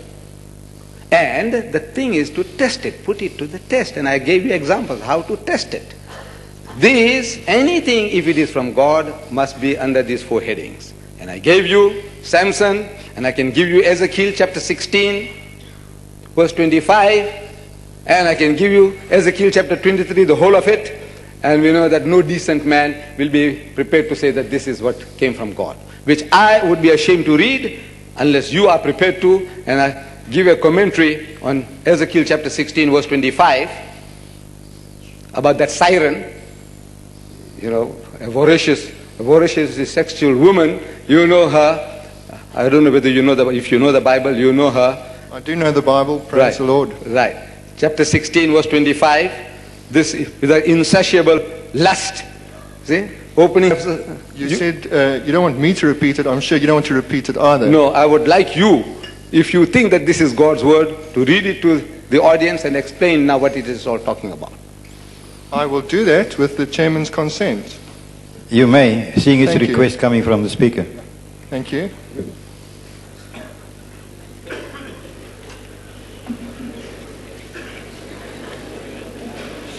Can I repeat uh, what you said? You said that I must read it and explain it. Is that correct? Correct. Thank you.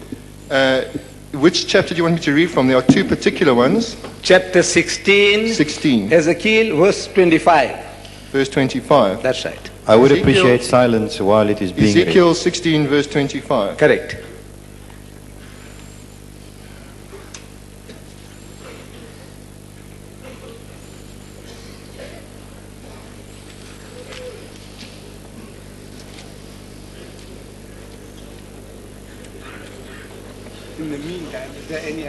If there is anybody else who wishes to make his or her way to the microphone, please start now. All right.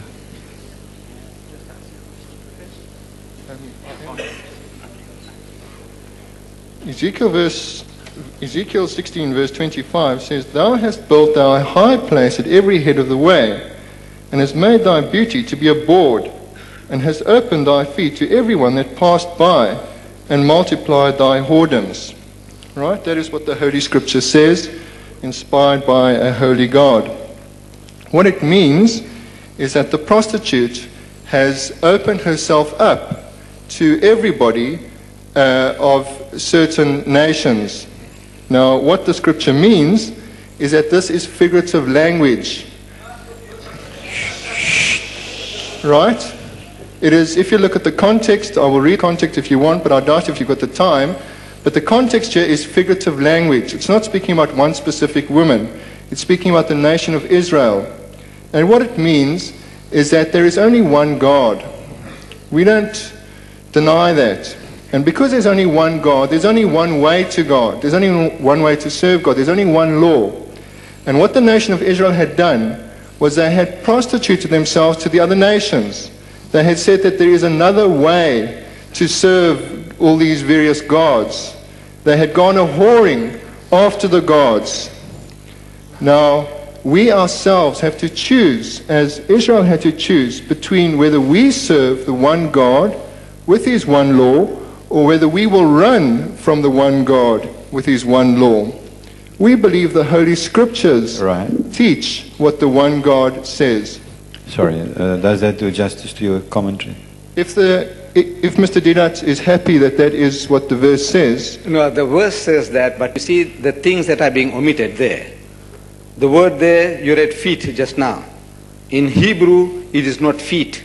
that's right. No, we, Right. and we You do know- agree with that. Right. That's right. In Hebrew, it is not feet. That's right. It is legs spread out. That's right. We agree with that. And We this woman, she is prepared to pay her customers. She is prepared to pay. Unlike the harlots of the world, she is not that type of a harlot. We She's not that She's person. She pays worst. you. She's the very worst. She pays you That's right. We for agree. doing It's to her worst. what you do to ordinary women, with, with the, to prostitutes.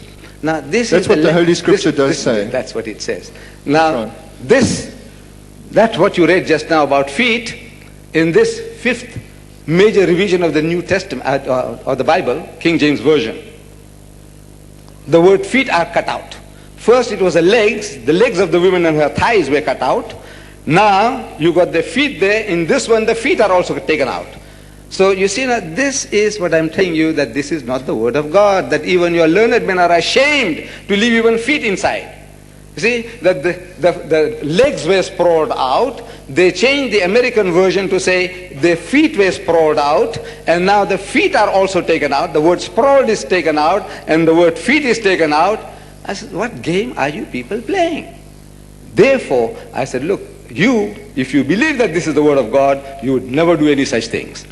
Uh, can I respond to that? No, now you give somebody else a chance. is another person This is- behind Thank you very much for your time. Thank you. Sorry, I missed the boat.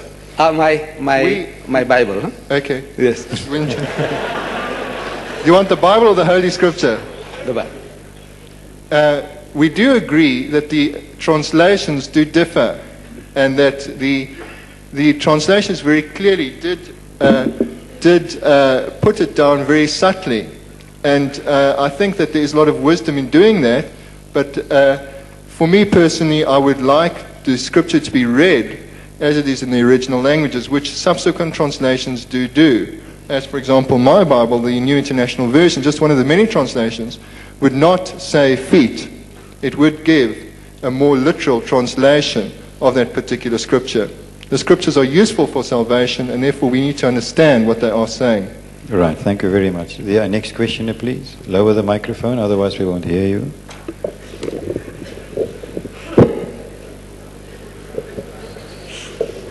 Mr. Deedat, you, it has been mentioned tonight that uh, Anis Shorrosh said that, that 75% of the Quran is uh, written out of the Bible. I don't know very much about that, but you believe that the Quran is Nazir. What do you mean Nazir? Nazir. What do you mean Nazir? What I'm, Why, why don't you give me what you have in your mind, your meaning? What, what meaning have you got? well, that is something that has been sent down from God. Right, right, right. Yes, Tanzil. It has been sent down. It has been Yes. sent down. Yes. Right. So you believe it has been sent down, it's an inspired word of God.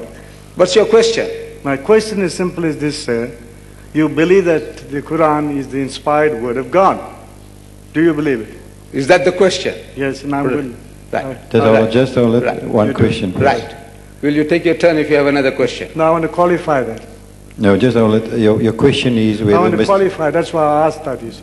Just hold it. What is your question? The- the- Does Mr. Deedat accept the yeah, Quran because, as being... yeah, because, because if I could prove to you out of the Quran that there are pre-Islamic, what you call, uh, passages that are in the Quran, that is pre-Islamic, that are come down from other books besides the Bible, like the Talmud and the Jewish folklore. I can read the folklore to you and I can read the, Yeah, but now just hold it. Your question is, does Mr. Deedat believe that the Quran as it is, today was sent down by revelation? Yeah. His, his reply to that was that he accepts it. yeah. So I want to qualify that by reading the Quran. Yeah, but just hold it. Uh, we could have the next Okay, question, please.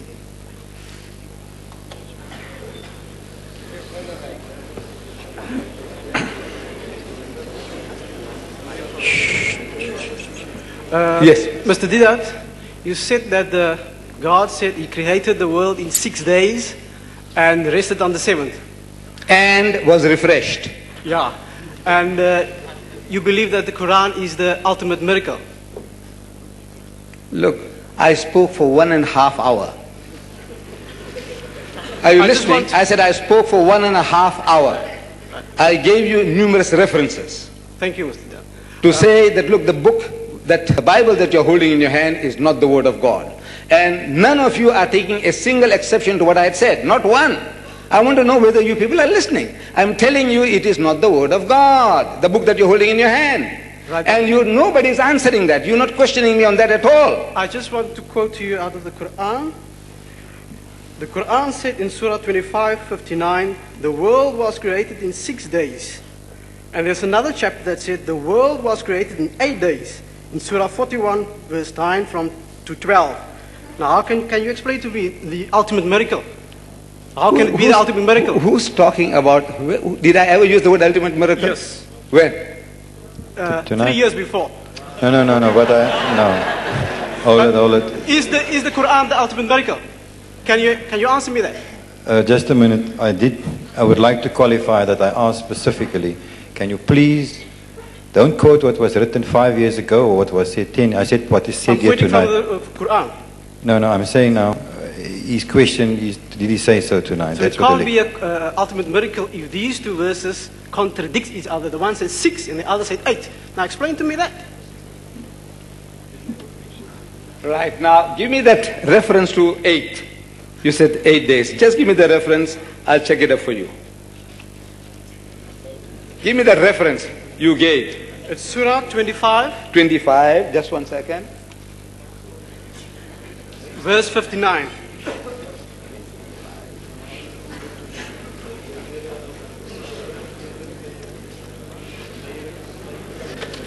Right, 25, 59. And the other one is No, no, Shh, no, I'll deal with that. See, the six days we had agreed. The Bible said six days, the Quran says six days. Now we're talking about eight days. Let us see what it says. He who created the heavens and the earth and all that is between in six days, and is firmly established on the throne of authority. God most gracious, ask thou then about him of any acquainted with such things. There's nothing about eight days here. well, I'll, I'll quote you the other one. You read the please the other one, please. I'll- Um, Surah 41 from verse 9 to Ah, 12. 41. You had told me 25, 59. 41? From verse 9 to 40. 12. Let me get 141 first. 41, From 9 to 12. 9 to 12. Right.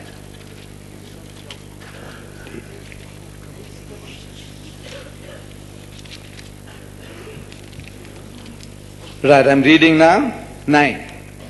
Say, is it that ye deny him who created the earth in two days? And do ye join equals with him? He is the Lord of all the worlds. He set on the earth mountains standing firm, high above it, and bestowed blessings on the earth and measured therein all things to give them nourishment in due proportion in four days, in accordance with the needs of those who seek sustenance. Moreover, he comprehended in his design the sky, and it had been as smoke. He said to it and to the earth, Come ye together, willingly or unwillingly. They said, We do come together in willing obedience. So he completed them at, as seven firmaments in two days. And he assigned to each heaven its duty and command, and we adorned the lower heaven with lights and provided it with guard. Such is the decree of him, the exalted in might, full of knowledge. So 4 plus 2 and 2 is? Right. Thank you. Uh, you see, there is a very comprehensive commentary. If you read the commentary, if you read the commentary, it would have answered your problem. But unfortunately, you see, you're just now quoting something and you don't read what the whole thing is all about and you're jumping into conclusion. Best thing, if you haven't got this, you remember the previous questioner asked what book this is. So I said, this is a translation by Abdullah Yusuf Ali. Right, I've got that very same one. Right. You get that? No, I've got it. Right. That's then you I read the commentary, it answers your problem. Right. But I don't agree that the Quran is the ultimate miracle. You see? No, thank you very much. Uh, there is a questioner coming to the microphone. Shh, silence, please. Good evening, everybody. Good evening. Dr. Deedat, what day is it today? Is that the, just, uh, let's, uh, uh, just, just one thing, minute, please. Uh, I'm going to allow you one question, so please ask the pertinent question, and Yes. otherwise, if you're going to have one I leading to- up, I, I might stop you at the wrong place. That's right. I want to relate it to the scripture. I want to know what day it is today. All right, I can answer that to you. Thank you. It's Tuesday, the 12th, It is Tuesday, the 12th. Right. From 1988. 88. When has that started? What means 1988? No, no, no, no. Uh, you're referring to the year of the Lord type of thing. The Lord. Yeah, that but now I've the Lord has created that day when the start of the Bible, of the New Testament. From that day, when you go back to history, 640 years has the Quran been written. All right, well, now what is the Yesaya, sorry. Uh, what is your question to? My question is, how do you know what you believe is true? Thank you. Thank you. Right, take your turn. Go to the back.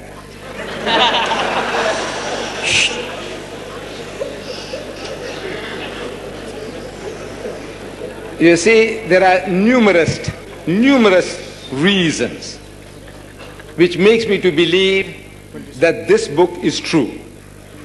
Numerous reasons. Number one, this book was given through a man who didn't know how to read or write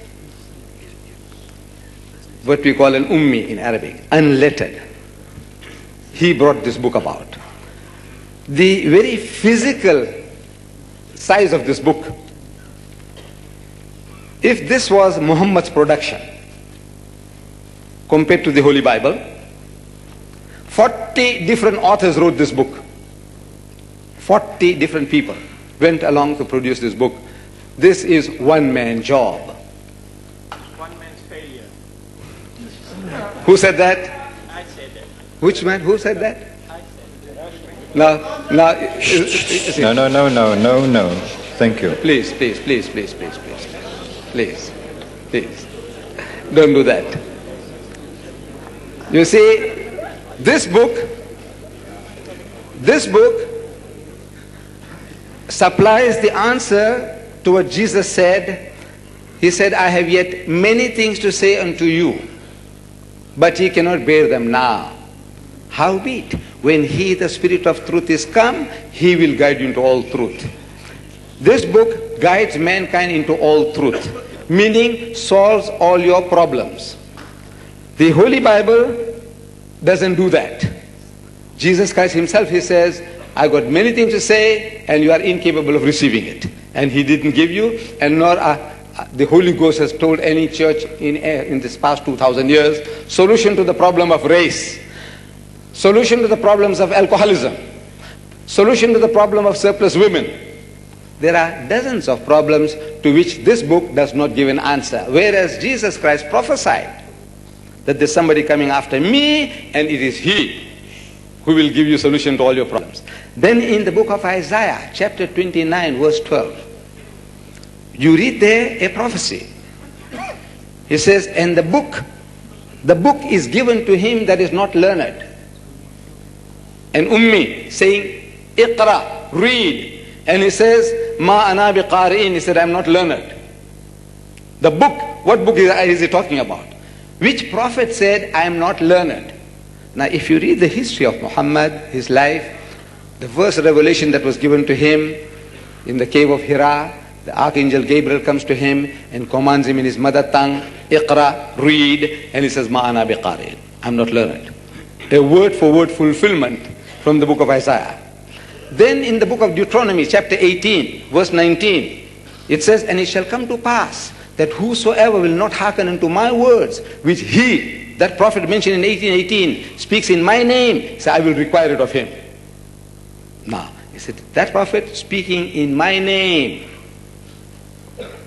in whose name is Muhammad speaking? The Lord's name. No, It says, Bismillahir Rahmanir Rahim. In the name of God, most gracious, most merciful. So, Alhamdulillah Rabbil Alameen.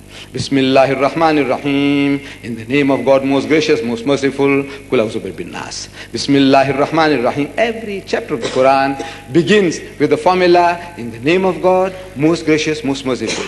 Now these are all the fulfillments which goes to prove that the Quran is the word of God.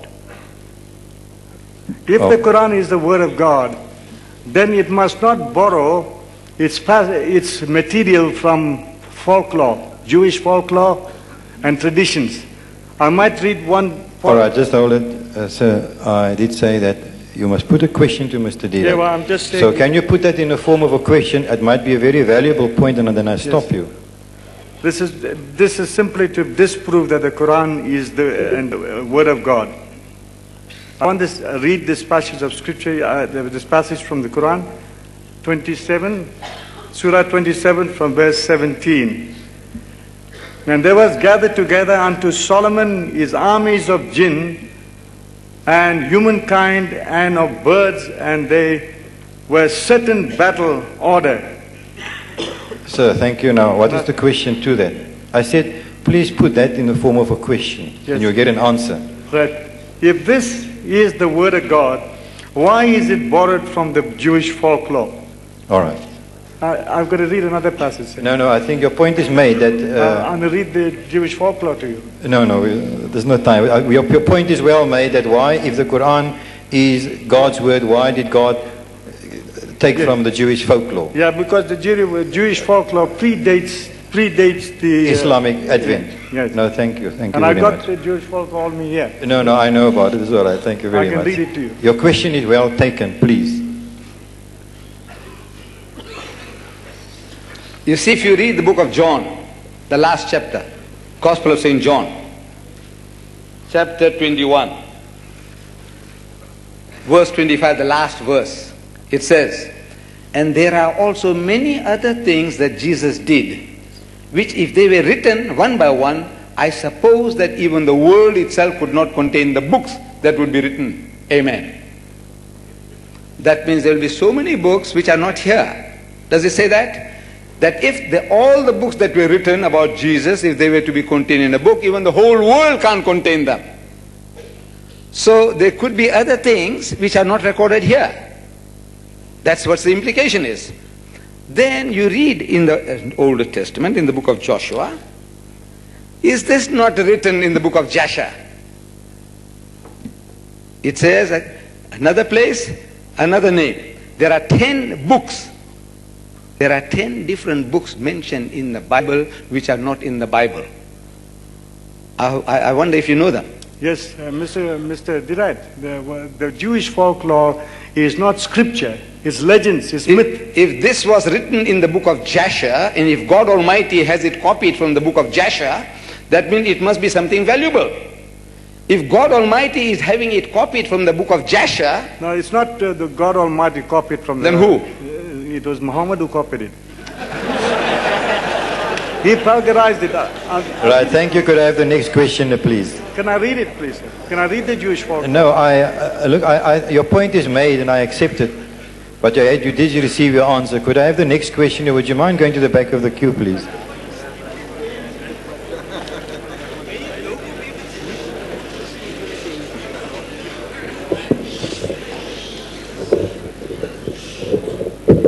Silence, please. Thank you. Another rhetorical question. The claim that the Bible is not the Word of God and that nobody has refuted that tonight, let me say unequivocally, without any shadow of doubt, that this is the Word of God. All right, could I just you, get Mr. some a message in, please, if you don't mind? There is a car's alarm that's going off. A Toyota Corolla GIX CA 575343. The alarm is going off. I'm sorry, sir. Thank you. I just want to uh, ask if the Quran has a comparable passage. John 3, verses 16 to 21. It says, For God so loved the world that he gave his one and only Son, that whoever, whoever believes in him shall not perish, but have eternal life. For God did not send his Son into the world to condemn the world, but to save the world through him. Whoever believes in him is not condemned, but whoever does not believe stands condemned already, because he has not believed in the name of God's one and only Son. Sorry. This is the verdict. Uh, basically, you want to know has, got the, has the Quran got a verse comparable to that, where it speaks of God so loved the world that he sent his only begotten Son? No, no. Can I read the rest of the passage just so that you can see what the question is? I'll give you one more shot. Okay.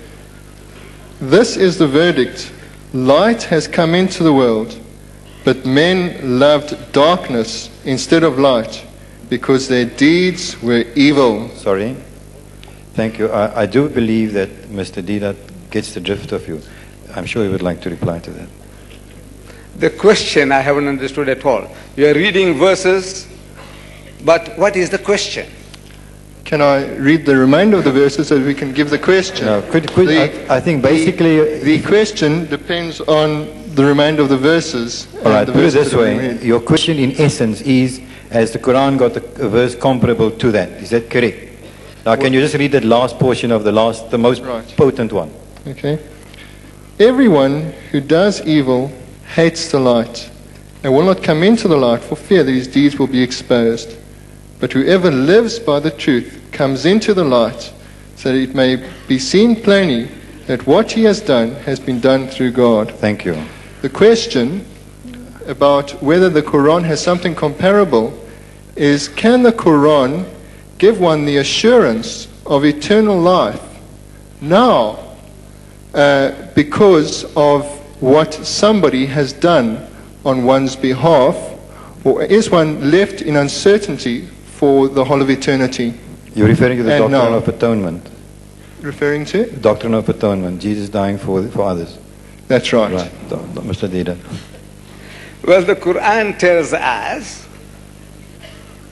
that illatiba zan, that you're all following conjecture, guesswork, fiction.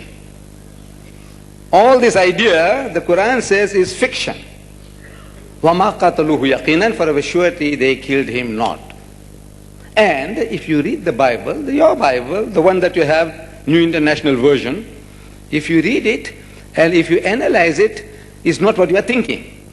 You see, Jesus Christ, when he returned, look, this has got nothing to do with the subject, really. The question, question was before us, one and a half hour, the Quran or the Bible, which is God's word. And now you are taking us off all at a tangent, and you want me to deliver a speech. That is actually... no, no, I don't want to deliver a speech. that, that's actually the, the, what you are now posing. You read almost half a chapter of John, chapter 3, verse 16 and onwards. What are you looking there now? Look, the whole audience know that you read about half a chapter there, and now you are posing certain things. Now we have to speak to you, explain to you about theology. Now this does not prove that this or that is the word of God. I gave you examples from the Quran and the Bible, which makes the Quran to be the word of God and the Bible not to be the word of God. And you still, you haven't not asked a single question with regards to what I've said. I'm telling you the Bible you're holding is not the word of God. You haven't done anything to prove to the contrary. Or to answer my allegations. Whatever I said, I said, look, this Samson going to Gaza and going into the prostitute, having sex with her. Your New International Version says he spent the whole night with her. That's what your book says now. This book tells us plainly he went in unto her. He means he had sex with her. And that one you are carrying there now, what does it say? It says he spent the whole night with her. What, worshipping her? What was he doing there? No. Can You I see, answer now, question? this, this, you, your question on my subject. I said the Quran or the Bible, which is God's word, and I gave you numerous examples to say these things disqualifies that book from being called the word of God. Was maak dua, we make dua that Allah subhanahu wa ta'ala must bless us all with the insight so that we can counter the onslaught with fact and not by getting wild or hot under the collar for nothing. Shukran jazilan. Assalamu alaikum wa rahmatullahi wa barakatuh.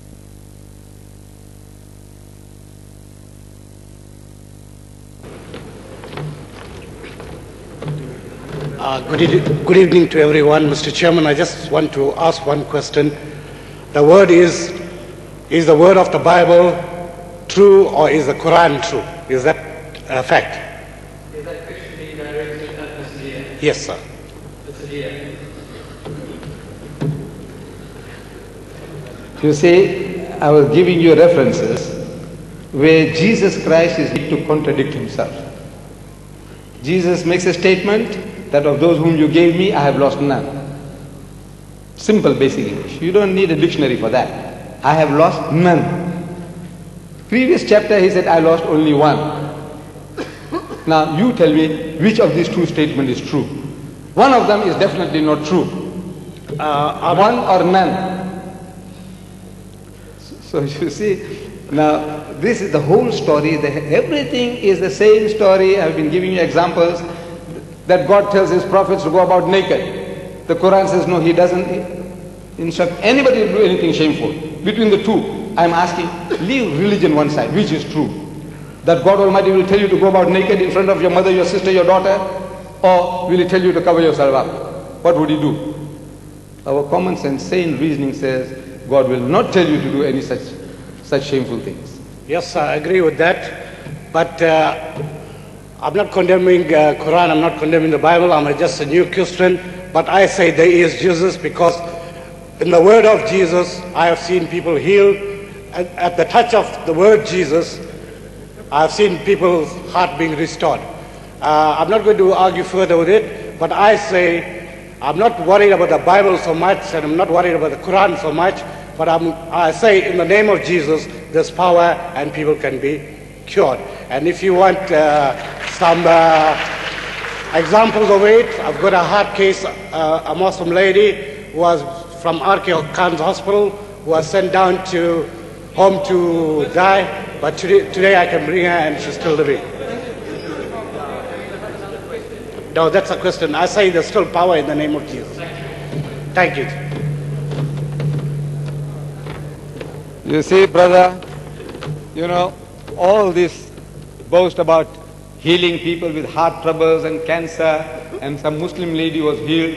Look, the hospitals are full. If you ever been to King Edward VIII Hospital, you know, when you see there, your heart bleeds for everybody.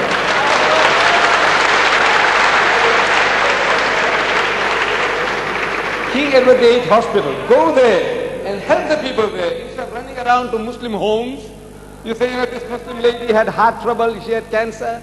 Look, thousands of our brothers and sisters, you know, Africans, Indians, colors, they are dying.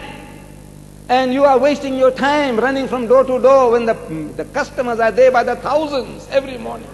Why don't you go and help them? However, this is, this is a rhetoric question. I'm not, I'm not asking you to respond. But the fact is, look, this is the obvious thing. If you had the power, God gave it to you, go to the hospitals. Help the people. Instead of wasting your time running.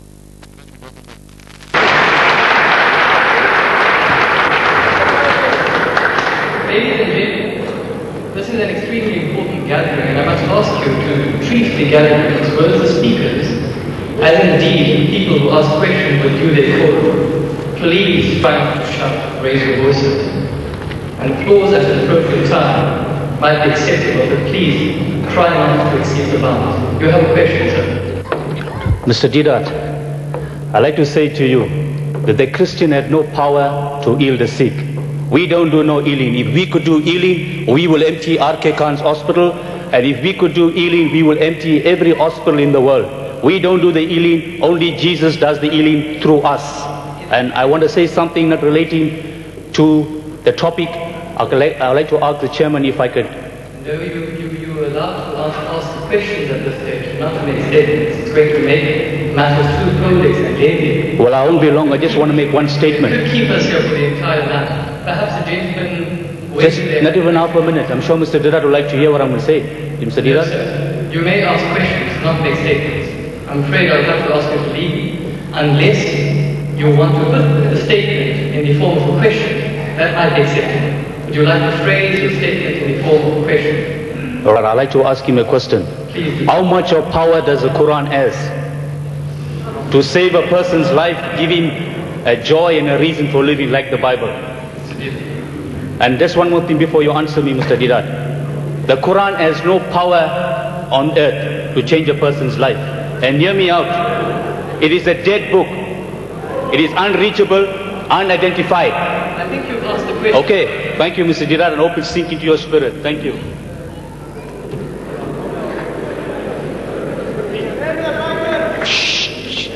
Silence, please. Silence, please. You see, this is the proof. This is the proof. This is not unique to this hall. I delivered the same talk in Johannesburg, and there were droves and droves of Christians, missionaries, and we allowed them one full hour for questioning, and there was not one question on what I had said. There is no Christian born who can contradict anything that I've said tonight. There isn't one born. Irrefutable evidence I have given you. Now you have to come and tell me that this chirp was a flying saucer or it was a, a helicopter. Tell me, tell us, tell these people here. No, there isn't. This is what happens. Allah describes it to us in the Holy Quran. Sabal naqzifu bil al batil. When truth is hurled against falsehood, it knocks out its brains. No questions. I tell you, I guarantee there's not, there are no questions. Not this. This is a lesson for the Muslims. That look, Allah has given you that power. I tell you, there isn't a Christian born who can answer what we have presented tonight. That this is not befitting the majesty of God, the language, the stories. I, I haven't come out with the whole. I just put them aside. I said, look, man, i rather give you a chance in case you said, look, this guy spoke for two hours and he's not giving us any chance. There's hardly any questioner. Look at this. There droves and droves in Cape Town, droves and droves, and they said the words in the, through the grapevine, don't go and ask thee that questions, you're going to make a fool of yourself. So they don't want to come forward. So you make charges. What has the Quran done? I said, look, Islam, through the Quran, through this one verse, it eliminated four major evils. One verse. I quote, Bismillahir Rahmanir Rahim. Ya. Say, oh you who believe.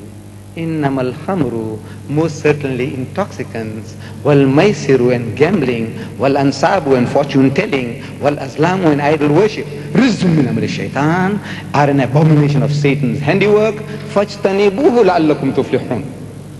When this verse was revealed, wine barrels were emptied in the streets of Medina, never to be refilled. The most perfect, complete and lasting revolution in the history of mankind. One verse and the evil was abolished for good. No more idol worship, no more uh, fortune telling, no more alcohol. This one verse created the biggest society of teetotalers in the world. The Muslims are the biggest society of people who don't imbibe alcohol. Look, this one verse did it. What are you talking about, dead book? This book with all your miracles, with all your miracles. Ask Swaggart now with all his miracles. You worship him. I know the, my Indian Christian brethren.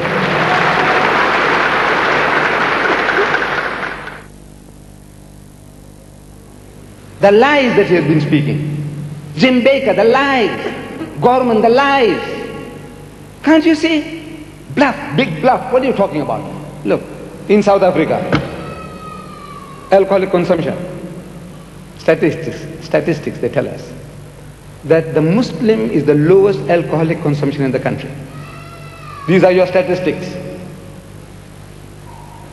They have no statistics for Africans, they have no statistics for Indians. But they say the colored community, five times the amount of alcoholics as any other race in the country. Five times the amount. The Malay is a color. It's a Muslim. That's the identity He with the colors. The Muslim Malay, the lowest in the country, the Christian colored, five times the amount of any other race in the country. This is what your book has done. I said 8% of the white people who read this book, incest, incest, incest are committing, creating, committing incest. 13% of the American people are committing incest. What are you talking about changing your life? I want to know what life it has changed. What is this? Come forward. Look, I said that what I have presented to you, I presented a case to you. I said, look, this is not befitting God. This is not the word of God. Contradictions abound. You say one or none, 36,000 difference. 440. Jesus, come on, man, come on. And you want me to give you more? You read the book of Ezekiel, chapter 16, verse 25. Read it. No, you don't know the book. Not about the Bible. He doesn't read the Bible. He's a newborn Christian. He's a new Christian. He doesn't read the Bible. Jesus saved him and it heals people. What is this? I have spoken for an hour and a half. Were you listening? Was my English too hard on your ears? What is it? What has happened to you? No, the Quran gave the answer. Brains is knocked out. Come forward. Let's see these brothers here if you have any question on the subject. Come, welcome. Our chairman, I'm speaking directly to chairman. no one in this world ever knew the Lamb. There's only one man that knew the Lamb. To sacrifice and to get forgiveness for our sin and to redeem all of us from sin. All have sinned and become short of the glory of God. No one can enter into heaven without being the blood of Jesus to wash them and to cleanse them. One man, one man, that is who knew the land. That's the question I'm, I'm talking about. I want Ahmad Deedat to know who I'm talking about. Who is the man who knew the land and was integrated? Yeah, but I'm giving the name of the man. I'll give you the name of the man that knew the land. What is your question? My, that's what my question is. That uh, the Ahmad Deedat talking about Samson, right? Talking about Samson. Samson never born on his own. The angel was sent to the family. He born for family to deliver the people. He had power. Even for the Joe had. You know that? Joe, a boom yet. He had power to kill those thousands. But sir, if He didn't do it on his own. If you will No man can do it on his own. But he has the power. Yes. Power was given by God. Chairman, it's not a matter of criticizing. It's a matter of joking. It's a matter of serious. Bible is the word of God. God bless you. Do you have a question, sir?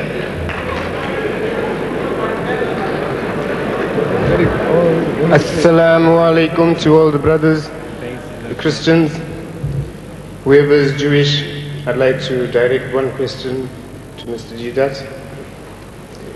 This may be in reference to the discrepancies in the Bible.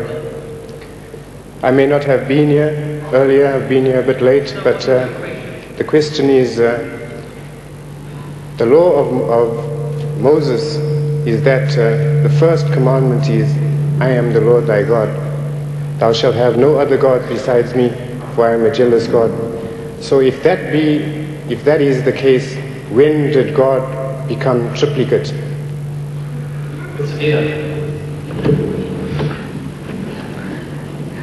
You see, the question is, is, you want to know, God is one. This was the commandment given by God Almighty to the Holy Prophet Moses, the first commandment. Say, Hear, O Israel, the Lord our God, the Lord is one. When he did this one God become a triplicate, three in one. Well, the Christian world in the third century, in the year 325, they deified Jesus. They made him into a god. See, they collected the bishops from all over, the Christian bishops, and they voted Jesus Christ as God. And they started believing in what they call the Athanasian Creed, Father, Son, and Holy Ghost. So the Father is God, the Son is God, and the Holy Ghost is God, but they are not three gods, but one God.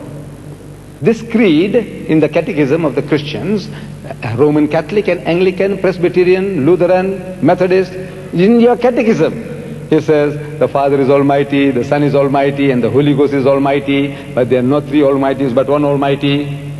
And it continues, the Father is a person, the Son is a person, and the Holy Ghost is a person, but they are not three persons, but one person. This is the creation of the church. This is not the teaching of Jesus Christ. So we have to ask the Christians, where did you get this Trinity from? Because Jesus didn't teach that. You see, in the Gospel of St. Mark, chapter 12, chapter 12, verse 9, a learned man of the Jew comes to Jesus and said, Master, in the Hebrew language, Rabbi, what commandment is the first of all? And Jesus answers and says unto him in the Hebrew language, Shama Israelu Adonai Eloheinu Adonai Echad. So hear, O Israel, the Lord our God, the Lord is one. That's his teaching. It is no different from Islam, the teaching of Moses, Jesus and Muhammad. In the fundamental, there is no difference. But the church has created what you call triplicates, the triplicate God, three in one, carbon copies. And they're not even carbon copies. They're not even alike. See, triplicate is carbon copy. This three-in-one is not carbon copy because I'm asking the learned man of Christendom that when you say in the name of the Father and the Son and the Holy Ghost, this is his formula of faith. Like we say the Shahada, he says in the name of the Father and the Son and the Holy Ghost. I said, how many mental pictures And those three pictures are distinctly different.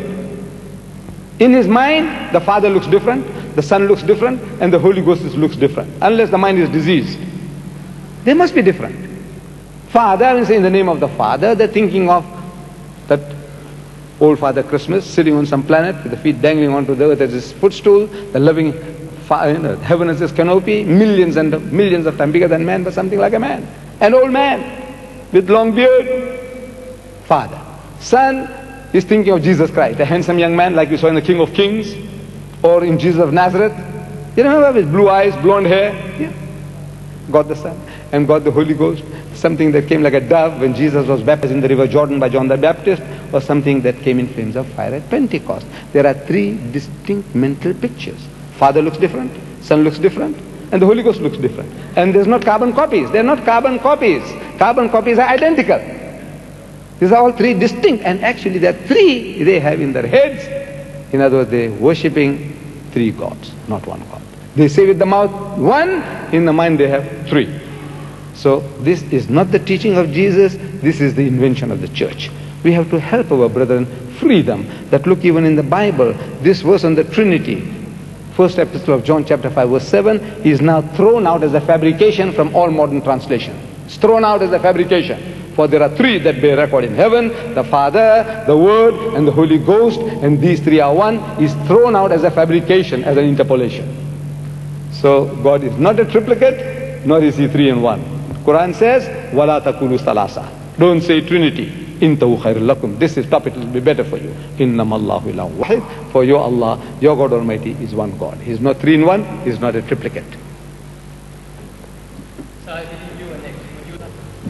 Yes. Mr. Deedat, may I ask you two questions, please? Uh, one at a time. One yeah. at a time. Okay, and uh, which is, uh, from your point of view, which is God's word, the Quran or the Bible? I'd like to. I'd like him to answer the first question, yes, then I'll give the yes. next question. You see, you are like the young man. I was telling my friend Brian, you're the first questioner. I was telling him before coming in. I said, amazing situation. You see, you tell a fellow story about Romeo and Julie. You heard about Romeo and Julie? Yes. We have Layla Majnoon. You know, Layla Majnoon. Layla, Layla means she was as black as night and Majnun was mad over this woman. See? So whole night you're telling the story about Layla, Majnun or Romeo and Julie. In the morning, the clever fellow is asking whether Romeo was a boy or a girl. Whole night you heard the story. I'm telling you, explaining to you that the Quran, the Bible is not the word of God, the Quran is the word of God, and now you're asking me which is the word of God. Okay, I accept that right. You said that the Quran is the word of God. Yes. Then explain this to me. Surah 41, 9 and 12. We read that the world was created in eight days. But we read in Surah 754 that the world was created in six days. Explain that to me. Thank you. That's the last question. This is this was really a question. That's the only question tonight. First question. We must give him another applause. Really.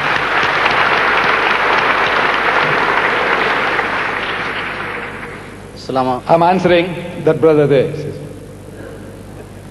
I said, this was the first question tonight by God. He said, you see the Quran, we mentioned in the Quran just now, I read to you that the Bible says that God created the heavens and the earth in six days. The Quran says created in six days. The days are, we won't go into details, six days, six days. He quotes another chapter, chapter 41, verses so and so, 9, 10, 11, 12. He said, it says, God created the heavens and the earth in eight days. Now, he hasn't read. He's reading, thumb sucking from somebody. Somebody told him so, and he uttered the words. If he saw the Quran, the Quran doesn't say anywhere that God created the heavens and the earth in eight days. Never. No, no, no, no. No, no. But look, there is some, some, there is some basis for his question. The Quran doesn't say. You see, like what I said, one, none. That's a contradiction. Four, four or forty, that's a contradiction. If the Quran said six, eight, also contradiction, we'll have to admit. But the Quran doesn't talk like that at all. He doesn't talk like that at all. You see, he's tongue sucking from what somebody said. He doesn't know. If I give him the Quran, he can never find it. See, he will be able to read that God created the earth in two days and the earth and everything else in four days and he created the heavens in two days. That's how the Quran speaks. Two, four, two. So he says eight. You see, these are stages. Stages God is talking about that the earth itself, He started the creation, two periods of time, two eons, two stupendous periods of time. The earth. And side by side with the thing that went on to earth, this creation, this foundations of the earth, and this, that took four days. Alone, this work took two days, this and that put together took four days. And the rest, another two days, eons, periods of time. So now they said, you see, two, four, two, that makes eight. I says, no, no, no, no. He didn't say eight. Now he's explaining to you how you are getting it wrong. And if he was here, this young man, I would have done him a favor. I said, look, man, I want to give you some money. He deserves it. Look, he was the only first man to ask question. If he's here, if he can come forward, I'll be very happy. While the other brother is asking the question, please come forward. I have something for you. And I'll give it to you by God. Come. Come forward. The young man, don't feel shy. Where is that young man? I hope he hasn't gone away. Come, come, come. Come. Come, my son. Come. Please. You deserve this. Please come. Come up here.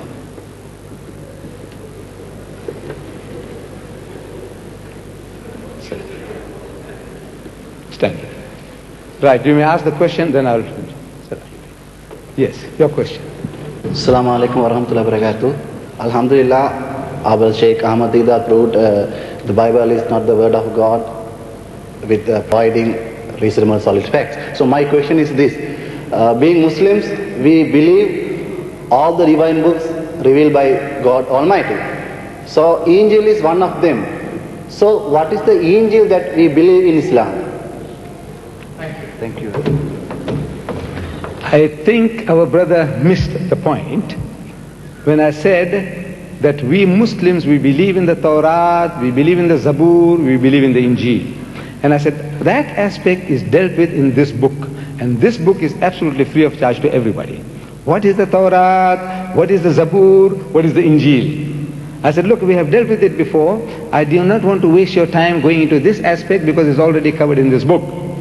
But briefly, Torah is a revelation, the Wahi that God Almighty gave Musa alayhi salam.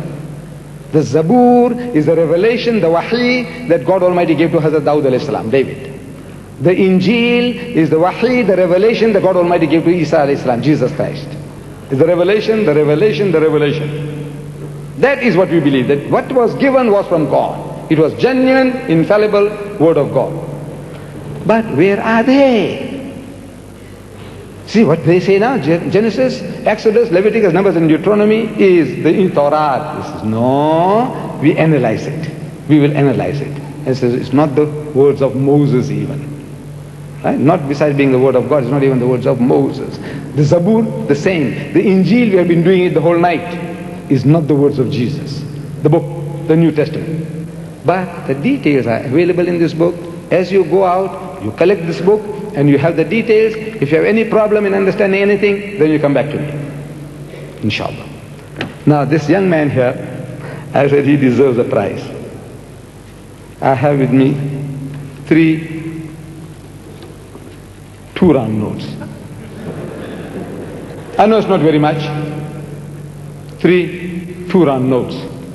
And I want to present it to him. So I said, here my son, two.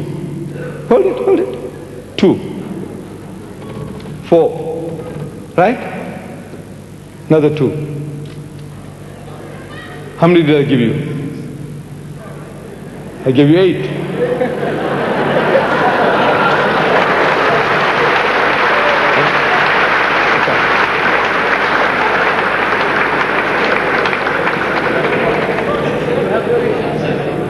Uh, Mr. Deedat, I want to know, by you uh, having these uh, debates and uh, trying to tell the people the Quran is the word of God and the Bible is not the word of God, what are you actually profiting or what are you actually achieving from this?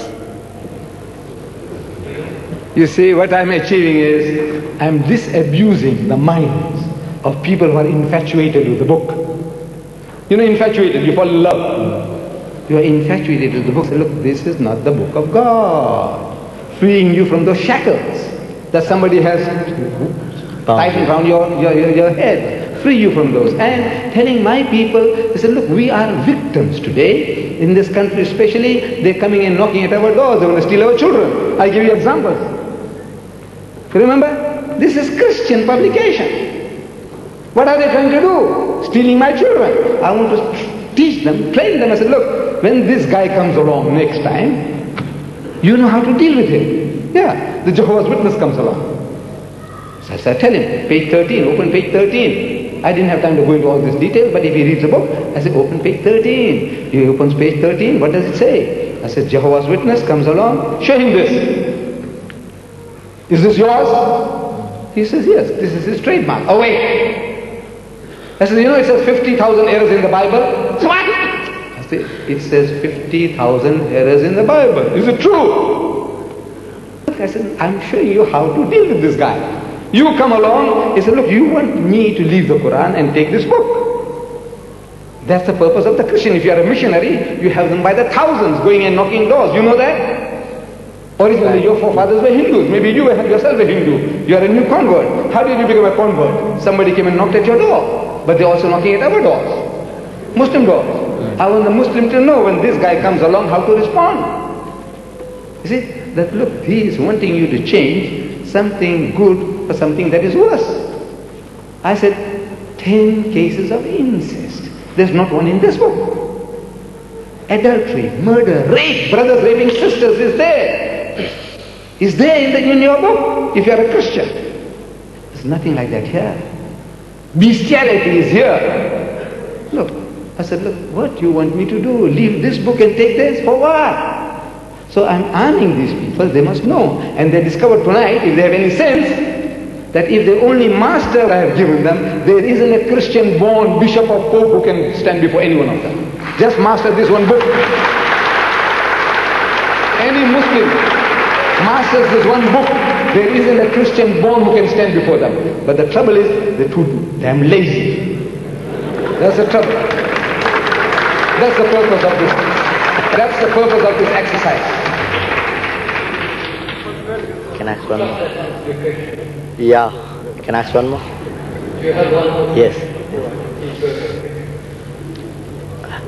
And uh, by you uh, having this uh, meetings, uh, what is the fruit? What fruit did you get out of it? I mean, uh, hang on. Uh,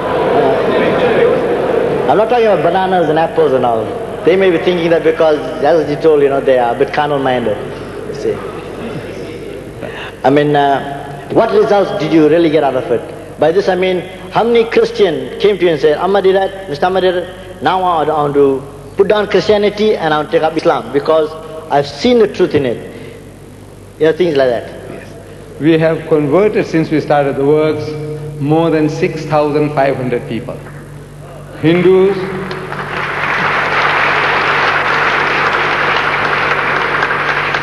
You haven't answered my question. Hindus, Christians and Jews.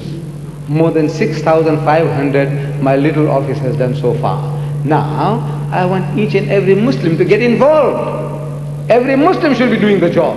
It's not one man's job, it's not one society's job, it's every Muslim's job. As every Christian is trying to do the work for his belief, the Muslim must do the same.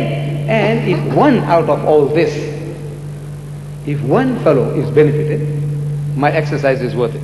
If I have saved one Muslim from falling into the mess, being tantalized for a Christian wife or some money or want to take revenge on his parents, he wants to become a Christian if he sees this, and it works. You see, there is a Jamal Khan, he is a Molvi in Maryhill. Molvi, you know Molvi, like our priest, Muslim priest. We have no priesthood, but take it. He is an Imam, Jamal Khan by name. He came to Verulam many years ago. When, when, when I arranged a lecture for him. He was in my house at dinner. And while at the table, he tells me, he says, You know, Mr. Deedat, you saved my life. So I'm scanning in my head. I said, I know, well, so and so, something, a fellow was drowning, I pulled him out, and somebody else was there. I says, I helped him too. But when did I save your life? So he says, You know, around 1951 52, he said, Your brother in law was in the Springfield Dormerton Hospital, TB hospital, and used to come there every week. I said, Yes. He said, You see, at that time I was also a patient in the TB hospital. I said, So? He said, You see, there were Christian missionaries harassing your brother in law. And you came one day with the Bible and you were showing them contradictions in the Bible. And he says, I was watching over your shoulder. I don't know. He says, I was watching over your shoulder. And what you showed them to the Christian missionaries, I saw and I tore up my certificates. I was training for the priesthood, Muslim. I was training for the priesthood. I was about to be ordained. And what I saw I says, no man, I'm wasting my time. I'm barking up the wrong tree. So I tore up the certificates. He's a Molvi now, a priest in Marion Look, I didn't know. If he didn't tell me, I would know. And there could be dozens here. If they, the, the faith can be saved by listening to this, I said, look man, where are you going to fall into this? Where? It, what this book has done to Gorman and Bakker and Swaggart, it will do to you. What is doing to the Americans? 13% of the American people, they are committing incest with their own daughters. I said, you will do the same. 8% of the whites Christians in South Africa are committing incest with their daughters. I said, you'll do the same. So I'm trying to warn my brethren, keep away from this book. Bernard Shaw said, the most dangerous book on earth. But I want them to study it in conjunction with my book. Get this book and then use that as a textbook. This is a book of instructions and use this, it'll be valuable. If not, you're also going to go the same way as Swaggart. Uh, in uh, conclusion. I'm afraid we have two questions. I think we must uh, give up the opportunity. The last one. I hope so. Good evening, Mr. Chairman, Mr. Deedat. I must congratulate you, Mr. Chairman, for the calm way in which you've conducted the meeting this evening. Uh, I'm not going to accord the same grace to Mr. Deedat. And that is the question I want to ask him. Obviously, I'm not of his faith and he knows me. Um, Mr. Deedat, what I would like to ask you is you pointed out to us that in the Quran it says that Allah is loving. What does Allah require of his servants? What does Allah require of his servants? If he is a loving being, what does he require of his servants? What he requires from us, from all, is to believe in him and follow his commandments. For this is the whole duty of man. Listen to God, believe in God, and keep his commandments. This is what he requires of you. You do that, he loves you, and he will reward you. You disobey, you pay the price. Does that answer your question? Yes, it does in a way. I'll continue if I can, seeing as I'm the last one, perhaps you give me the license. Um, in, the, in the Quran as well, um, it says that Jesus Christ is a prophet. So you admit to the existence of Jesus Christ. What is your question? All right. You admit to the. So what is your question? Because now, question what is- you are carrying on now, like in a court of law, you are not interrogating me No, no. as a public prosecutor. No. What is your question? I hope I'm not that. Your question. No. Your question. I- come right. to the conclusion of what you have in mind. My question is that Jesus Christ in John chapter 15 tells us that he gives all people a commandment, especially those who follow him, that they love one another as he has loved them. Why? Because he laid down his life for them while they were yet sinners. Now, that is the same love, I believe, that you are telling me that Allah is talking about. Therefore, if you are going to show love towards us, and I mean, you said there was 1.8 billion Christians who don't agree with you. If you were going to show that same love towards us, who are not of the same persuasion of you, why are you antagonistic? Why don't you show that characteristic of love towards these people, hoping to convince them of their error? Jesus Christ is described to be the most loving person on earth. He is supposed to be the Lamb of God, meek and humble. Well, listen to him. You generation of vipers, you brood of snakes, you hypocrites, you wicked and adulterous generation, you fools, you whited sepulchres, you tell me. Who was he talking about? He's talking about his people. That's right. The The elders of his people. the scribes and the Pharisees. So in other words, now if this was fitting for Jesus Christ, I never used any such language at all. Whatever I said tonight was more insipid than what Jesus had said.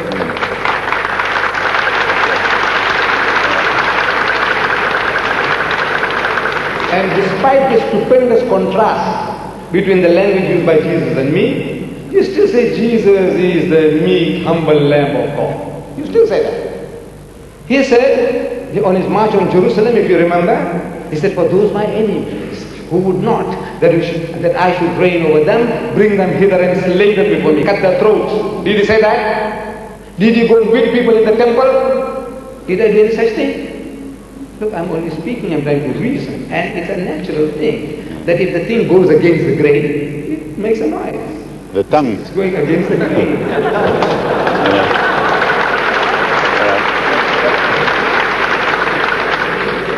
I'm allowed one more just comment on what he said. Right. You know, the, the one thing I would like to say is when Jesus Christ castigated the scribes and the Pharisees, the result was that they became totally estranged from him. I'm saying your attitude tonight has perhaps done the same. Thank you.